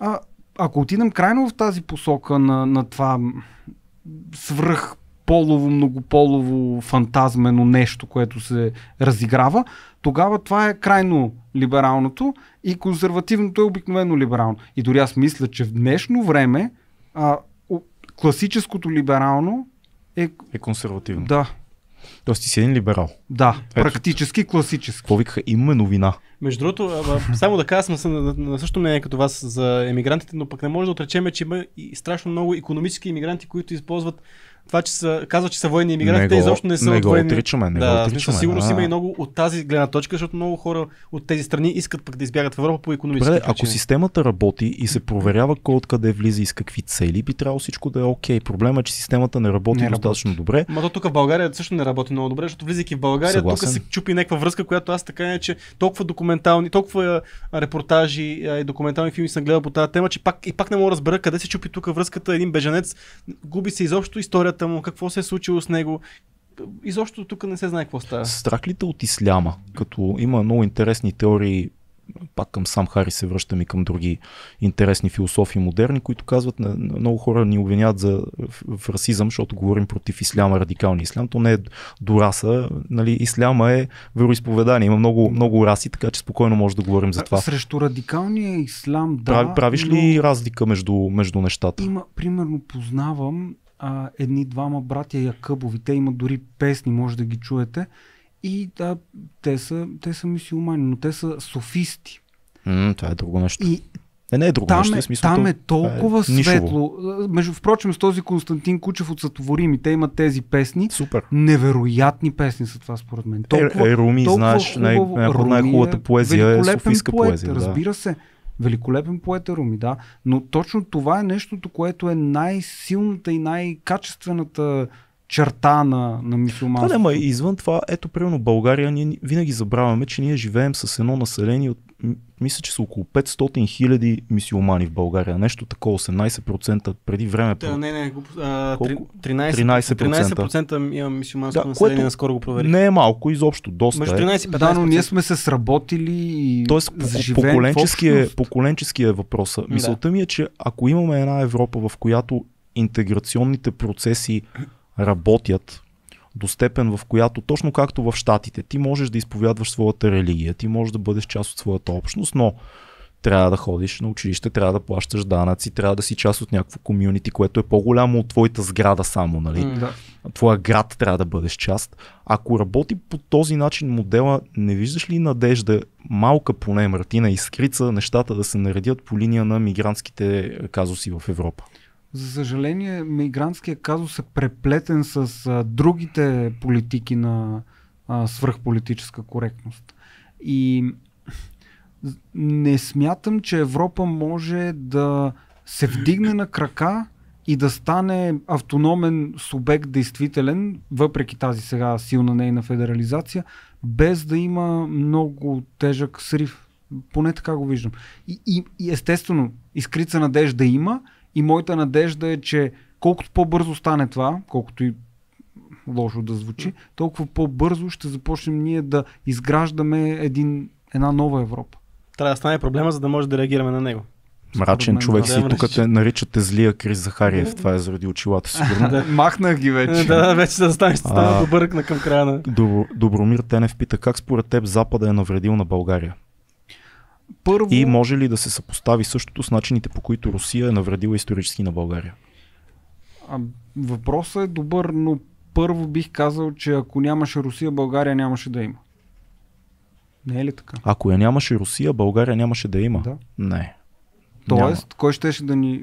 Как, как щяхме да се измъкнем от Османското робство? Защото ти каза, споменах тук по-рано Чипровското възстание. Те са се надявали на Запада, защото са католици. Из, избухнало е възстанието, Да, да, но- помели са но- ги и никой не е реагирал. Така, така, съгласен съм, но нали знаеш, че Русия не, не, не ни освобождава като, като така. А, целта не е била България да бъде освободена. Русия гони нейните много Нейните различни гео- интереси. Разбира се, но, Като но цяло пак Османската империя се е в разпад, като цяло Европа вече се обърнала към Османската империя и нещата започват да отиват на кино там. Било е въпрос на време според мен и, и е много силно да кажем без Русия България е нямало да има, защото България е имало и преди това Сигурен. Имало е. И е но- преживяла и друго робство византийско и пак се е запазила, така че не... Дано и да се запази за повече време. Да. Но според мен от великите сили, пак ще излезе, че съм русофил, не съм, аз не искам да живея в Русия, но според мен от великите сили единственото, единствената велика сила, която има интерес действително България да е силна, и това е егоистичен интерес, както ти каза, това е Русия. Сега, в момента. По принцип. Не вярвам. По принцип. Не мисля. Егоистичен интерес от това, но, но това, е, това е тяхната вина за нас прямо Македония, е нещо, което те са предали като роля в момента на Сърбия. Тоест южните славяни, Не. не съм съгласен с теб. Кажи ми как Запада наврежда на, на България.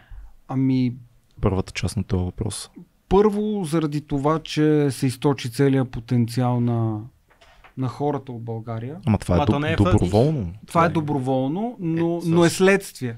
Е, да, не, ма това е все едно. Добре, окей, да, да речем, че тук не съм. Тук не е, съм тук, прав. тук е, е, е, Цеци ме бие всеки ден и аз отивам да записвам за другия подкаст и ти да кажеш, заради другия подкаст Орлин се махна от Да, 2200. така, да, факт. Това е. Мисъл, Така е.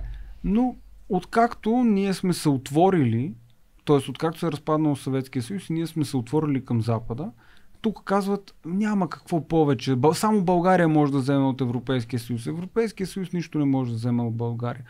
Толкова много години се купуват всичките златни концесии, всичките водни залежи, всичките тия неща, те се окупират постепенно от фирми, които нямат нищо общо с България и нямат нищо общо с българското население. И т.е. нашата земя се разпродава по този начин. Това е едно от нещата, които е взето.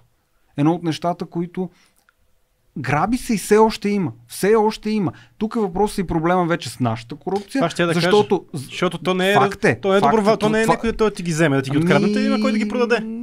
Капитализма не работи така. Конкуренцията е загубещ и монополът трябва да е пълен. Да, окей. Изговорихме го това. Да.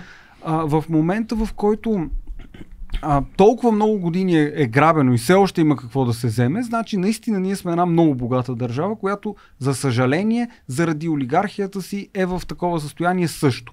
Защото аз съм ходил там около Веринско, например, има е, е, е, язовир един е това, до едно село тук около Ихтиман София, има една табела запучена, тук се освоиха 170 хиляди евро от Евросъюза. Нищо няма там. Тя стои като надгробен камък. това- това ми- Ето това е Ма, и много е странно да проблем. обвиняваш Евросъюза за това, че парите, които Евросъюза дават, се крадат. за всичко. Евросъюз е Е, пределно ма наясно за корупцията в България, пределно наясно е с, грани... с проблема с границите и с Да, мигрантите. Въпросът е, Марто, не, не, Допуска го. не давам... Меркел допусна Бойко. Това Да, е. да, въпросът е следния. Ние не трябва ли да поемем отговорност за себе Да, си? е. Вместо да, ние казваме, не искаме Европа да ни контролира, искаме да имаме независимост в рамките на Европейския съюз. Съгласни сме всички. Мгм. Когато обаче вземем средства от Европейския съюз и някой тарикат тук си ги прибере и не направи нищо с тях, ние не казваме, ах ти тарикат, ние М. тук, нашата общност мислещи хора, ще кажем, не се прави така, приятелю, повече ти не трябва да имаш никакъв достъп до европейски средства. Ние казваме, защо Меркел или Евросъюза не проконтролира този човек. Все едно, нашата отговорност към нашето си общество я даваме в ръцете Аз, на... аз, аз винаги да, обичам да давам пример Проблема с... не е там, тук е. Обичам да дам пример с Румъния, защото да, знаем, че не е така, както го виждаме на снимките Румъния, но влезохме по едно и същото време в, в Евросъюза, едни и същи средства сме получили, обаче румънците доста по-добре са си устроили. Те Само имаха и документален филм за корупцията, който май беше номиниран осъдиха за доста Оскар. хора, да. как Точно така, то Да. смени цялата и парите, които влезоха от Европа, някакси се освоиха и те не могат да се оплачат, те всичко им е разпродадено и че вече са някакъв щат на Европейски съюз. Трябва да се съгласим, че има много голяма разлика в живота в България, примерно от 97 до сега. Това, което в момента живеем като живот, бизнеса, който има в София и много от големите градове, по-малките е друго, възможностите за работа, възможността ни да избираме стоки, работни места, а, всичко това е много различно от И това е 97 хубаво, но примерно дали един пенсионер сега живее по-добре, отколкото 70-те по- в края на комунизма? Дефинирай добре. Ама Дефинирай добре, защото Ама това е 70-те, лоша социална система, 70-те не е- само да ти кажа, Имаме... имаме 70-те казах. Тоест точно преди разпада. Да, да, тогава имаме това, което се нарича а, бурканна економика.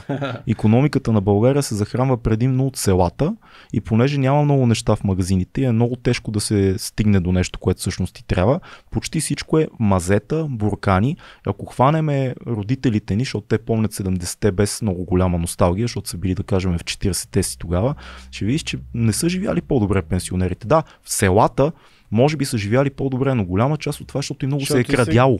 Много се е крадяло. Държавата дава еди какво си и вместо да го разпределите, ти си крадеш. Разбирам сега с тебе, идвам, взимам зърно, взимам дърва, че ми трябват. Тоест не е тая иде, иде- идеална то приказка, даже която не е разказва... те просто си взимат. То просто са сви... И сега са То много това е. гневни, защото вече не могат да го правят. И аз познавам доста такива възрастни хора по селата, които казват, сега не може да се... А едно време как взимахме, каквото ни трябва, взимахме. А Да. това е иллюзия, това не е економика. С това, което си прав, е, че в българския менталитет я има тази черта, аз да седна на масата, да не искам да работя и да казвам Америка е виновна за всичко, да. Русия е виновна за всичко, Турция е виновна Със- за всичко. сигурност. Това със сигурност го има и ако ние седнем, ма наистина, както казваш, да си поемем отговорност и както се казва, да си седнем на газа и да почнем да работим, тогава можем нещо да направим. Тоест, наистина, да, човек да иска да, да работи, да иска да прави. Аз виждам толкова много хора, които само паразитират на някакви работни места и лежат на, или на стари, стари лаври, или си лежат на баджака, или то, про- просто Ма това пак е завещание да от социализма. да, да се работи. Да се работи. Аз, Просто аз това като чета Захари Стоянов, в момента си припомням и препрочитам, защото нищо не ми е разбирала главата като дете, като съм отварял. Имам чувство, че даже не е от а, социализма, е от преди това. е. М, Отпреди Като това, е, да. чета там за овчарите Може и да, някакви много странна народопсихология. Да. Два последни въпроса от зрителите и минаваме на финалната рубрика. Първи въпрос имаше и загуби го а, от Жорката Йорданов, който има също много. Къде си проверяваш, много, много къде подкаст, проверяваш да. линковете и фактите, които, нещата, които споделяш, къде ги проверяваш? Кои са твоите източници. източници, къде са? Да. Кои са твоите източници на информация? До много голяма степен а, от книгите, които превеждам, примерно тази книга, която споменах, Финалната игра на капитализма, тя има 600 линк. А като сайтове, като медии, къде имаш ли примерно не знам, Deutsche Welle, ще каже някой отляво, ще каже BBC, ти, ти къде проверяваш нещата, къде чекваш неща. Например, от немски сайтове в Мултиполар или, например, има едно Рубикон. Тоест, по-скоро сайтове, които са обвързани с издателствата, с които поддържам връзка и чието книги превеждам. До голяма степен. Окей, аз не ги знам тия сайтове. Може Да. още един път да ги кажеш за зрителите, да ги чекнат? Ми казах, например, Мултиполар. и, и Рубикон. И Рубикон. Или... Има, има, мога да кажа още Да. такива сайтове, не знам дали има нужда сега. Да. Ам, иначе, по принцип, проверявам а, сега, например, а, около скандала с Twitter в BBC, нищо не излиза. А там излизат страшно много неща с файловете от Twitter, например, за и около лаптопа на Хънтър Байден и скандалната корупция Да, но в щатските медии имаше много информация. Ами не се го... Да, за, за Twitter специално да, но там пък сега, извинявай много, а, не Deutsche Welle, беше Tagesschau, което е малко, малко по-крайни са от, от тях, но те представиха Мъск с а, орела на, с а, нали, птичето на, на Twitter и отзад орела на нацистите. Е сега това не е ли радикално штамповане? Guardian са царете на такива крайни. Те си виждат, това би било много Много. оригинално, защото Да. те не се замислят. Guardian писа. Guardian винаги много ме натоварват, като ги чета. Може да си представите след Да. този разговор защо. Интересно е Нью Йорк Таймс на къде ще отидат, защото те се лашкат доста сериозно последните 10 години и не са съвсем така политизирани е, от едната страна, но, но са интересна медия. Добре, а, друг въпрос, който бях подготвил за финал беше като, сега не го намирам да перефразираме, като коя страна искаш да бъде България? Как, като, ако можеш да определиш една държава, която да бъде някакъв модел, който да следваме, коя страна е тази, която ти, ти казва, окей, това е пример, който съществува, не е метафоричен, не е измислен, не е някаква приказна страна, има такава държава, към, към която като система, строй, поведение геополитически трябва да се стремим. Ако кажа Унгария, тогава ще ми кажа, че съм русофил, но по принцип бих казал Унгария, въпреки че а, в, а, там има един, има един момент, например, доколкото знам, че става това, за което ти каза, малко по-крайно се национализират, отколкото трябва, и, но те имат много добра социална политика. Например, на първо, второ дете за семейството и на третото дете, например, дава държавата безвъзмезно 35 000 евро. Това е супер. Което е страхотна политика. Обаче Също або, абортите са нелегални. Еми, вероятно са нелегални, но, М. но пък можеш да минеш в, да ги направиш в Чехия. което е проблем. Никой няма да ти, да ти каже нещо, ако отидеш си направиш аборта в Чехия. Да, Нали? малко е проблем това да са нелегални абортите, защото знаеш и през са били нелегални Да, де, но и пък пак е са ги правили. Така е. Просто в лоши условия. Така е, но Да. пък е забранена също тази ЛГБТ Q пропаганда, която аз не мога да понасям. Ма защо трябва да е забранена, Марто? Нека Не, да си, не да е си, забранена. Да си действат хората, че, да си че, че, се обичат. ами, Ако ни пречат на нас, те не идват нас да ни аз обичат. нямам нищо против хората. Въпросът е, че те започват да обичат децата. Това е проблем. И децата започват да мислят по този начин, защото виждат само това. И за, за, мен, за мен Унгария е пример в това отношение, защото Орбан е бая стъпил на мястото си. Въпреки, че Европейския съюз му казва, ти няма да получиш 7,5 милиарда евро, той казва, аз няма да допусна по медиите да се говори за ЛГБТ и да се правят прайдове в Унгария. Ама Орбан е доста вързан и с Русия, ако не се лъжа. частично е вързан с Русия. Спекулира се с тази толкова голяма любов между Русия и Орбан, защото Орбан се опитва да се бори за альтернативен Европейски съюз. И според мен Европа по-скоро го сочи с пръсти и казва лошото момче е а, от руския фланг. Да оставим това на зрителя. Имаме много хубава рубрика за финал. Книга, филм, събитие се казва, която нашия гост И албум ми музикален. А, искат и албум да Да, искат тук ръчкат ни за албум. Значи а, още малко ще стане и знам какво. А, така че една книга да препоръчаш, важна за тебе. Или Една. пък не, една. Една. Една. Това е толкова трудно Еми, да да, затова е- една затова е. книга. Може, нещо, може да е последното нещо, което ти чел, или пък нещо, което да, преп, да препоръчаш, което пък си превел. И мога да се намери в издание Изток-Запад. Дали да е художествена литература, А, дали това да е- е то това е-. Мисля, че художествено би било по-готино в момента. В момента, След да. целият ни документален разговор. за Уелбек, това няма, няма нужда да споменавам Уелбек. Няма нужда и брати Карамазови. Тоест и Достоевски няма нужда. Няма Достоевски, разбрахме го. Да. Д- Достоевски е забранен, Да. така че няма право Няма, да го няма. казвам. Забранихме го вече. Да. Това е наистина много сложен въпрос, защото в момента в главата ми се бият поне 20 Да. книги. М, Кое последно те е така впечатлило, разтресло? Това ще дойде много сложно. Аз в момента чета и ми е много интересен, но, но наистина е просто много висока топка. Един американски философ Чарлз Пърс. И изток-запад а, бяха преведени 15 съчинения негови, които са баян на, на високо ниво, защото той вкарва и много математика, но а, има, има нещо много очарователно, защото той използва разглежда целия свят като знаци и самото мислене като процес на знакопораждане. Тоест, мисълта, която имаш, най-просто казано, би, се следва от друга мисъл и тя интерпретира предишната като знак. Тоест имаш един знак и следващото нещо идва като знак. Тоест цялата логическа структура на мисълта разглежда като знаци и външните факти, които виждаш също и за мен това е изключително интересно. Тоест има Звучи, такава да. една семиотика, която е много по-интересна от тия френски структуралисти, като Барт и така нататък, много по-интересна от Сосюр. Една такава философска семиотика, която за мен е невероятна. Супер звучи. Специално есето установяване на вярването, например, и как да проясним идеите си отвътре, ако, ако все пак някой си я купи и се хване да чете, са доста сериозни трудове Добре. и Е. са по-достъпни като че ли. Един филм да ни препоръчаш. Филм.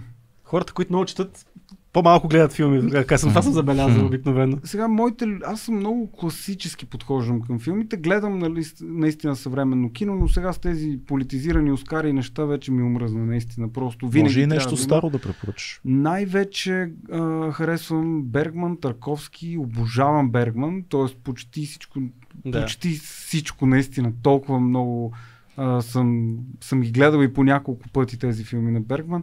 Та би било добре, ако някой не е, не е гледал Бергман, Топ, да, топ филм, любим филм. от него, например, сега Седмия и Печат и Персона са по-известни. Да. Седмия Както печат е казваше велик филм. Един мой преподавател граматски каже, гледайте персона, ако не сте Гледайте го гледали. Персона, Гледайте да персона. Това беше, това беше, това беше, това беше целият урок. Това е- Гледайте персона. Толкова е високо, толкова е... Прекрасен Да. филм. Седмия печат, е. мисля, че сме го споменавали Да, поне няколко пъти, да. пъти в подкаста. Може би Фани Александър е нещо, което по-рядко се споменава, а, а, а е на не по-низко ниво от, Наистина е грандиозно. от персона. Тези, тези три от Супер. началото на 60-те има една такава серия, да ги възприемем за един Най- филм, да най-силният му период, да, да, кажа. най- Най-силният период. искат, тук нашите зрители искат ти албум да препоръчаш. Нещо, което така, музикален албум, който е така важен за тебе. Много слушам и много обичам Pink Floyd. Супер. Много. Наистина просто това е едни от най-силните ми изживявания съм имал с, а, с Pink Floyd. Да. А някъде, където могат... Последният, последният въпрос е събития. Някъде, където могат да те видят а, нашите зрители. Някъде, Наживо. където да ти стиснат ръката и ти кажат, ева. Или да дойде ти кажат. Русофил! Русофил такъв гаден. Да. Да дойдат да ме заклеймят. Нещо, което ще дори да не ти да не, да не присъства. Може нещо, което да поканиш нашите зрители да посетят. Нещо, което ти би посетил. Физическо, Физическо събитие, събитие. да не е онлайн. Да.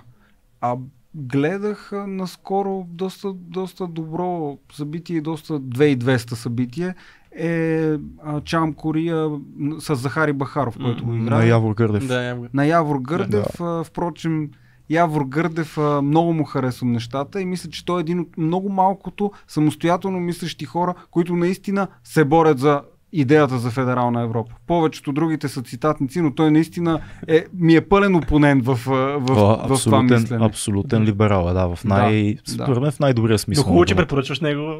Негово А, представление. да, защото, защото изкуството е добро. Така е факт. изкуството е... И защото изкуството е отвъд политиката. Изкуството е... отв- Колко хубаво. Да, И да, и не. и да и не. Тоест, изкуството... Опитахме се нещо. Добре, Добре, много Марто. Надявам се, балоните така не се спукаха. Еми, да, мисля, че не се спукаха балоните, но се допряха, пообщуваха, поговориха, обмениха къде сме на едно мнение, къде agree to disagree, нали И запазваме правото да те поканим пак. И запазваме, ако искаш, ако не си така, ако ми кажеш тия двамата, не, нека, стъпвам нека повече. там. хората да кажат дали трябва да дойда пак, защото в крайна сметка много зависи от реакциите. Така е. Това, това е експеримент и, и за Експеримент е, тримани. със сигурност. Да. Благодарим ти, Мартин Петрушев, рационална съпротива, мислете с главата си и така, бъдете мислещи граждани на Европа, на света, на България, на дома си също. Важно е. Това е. Чао.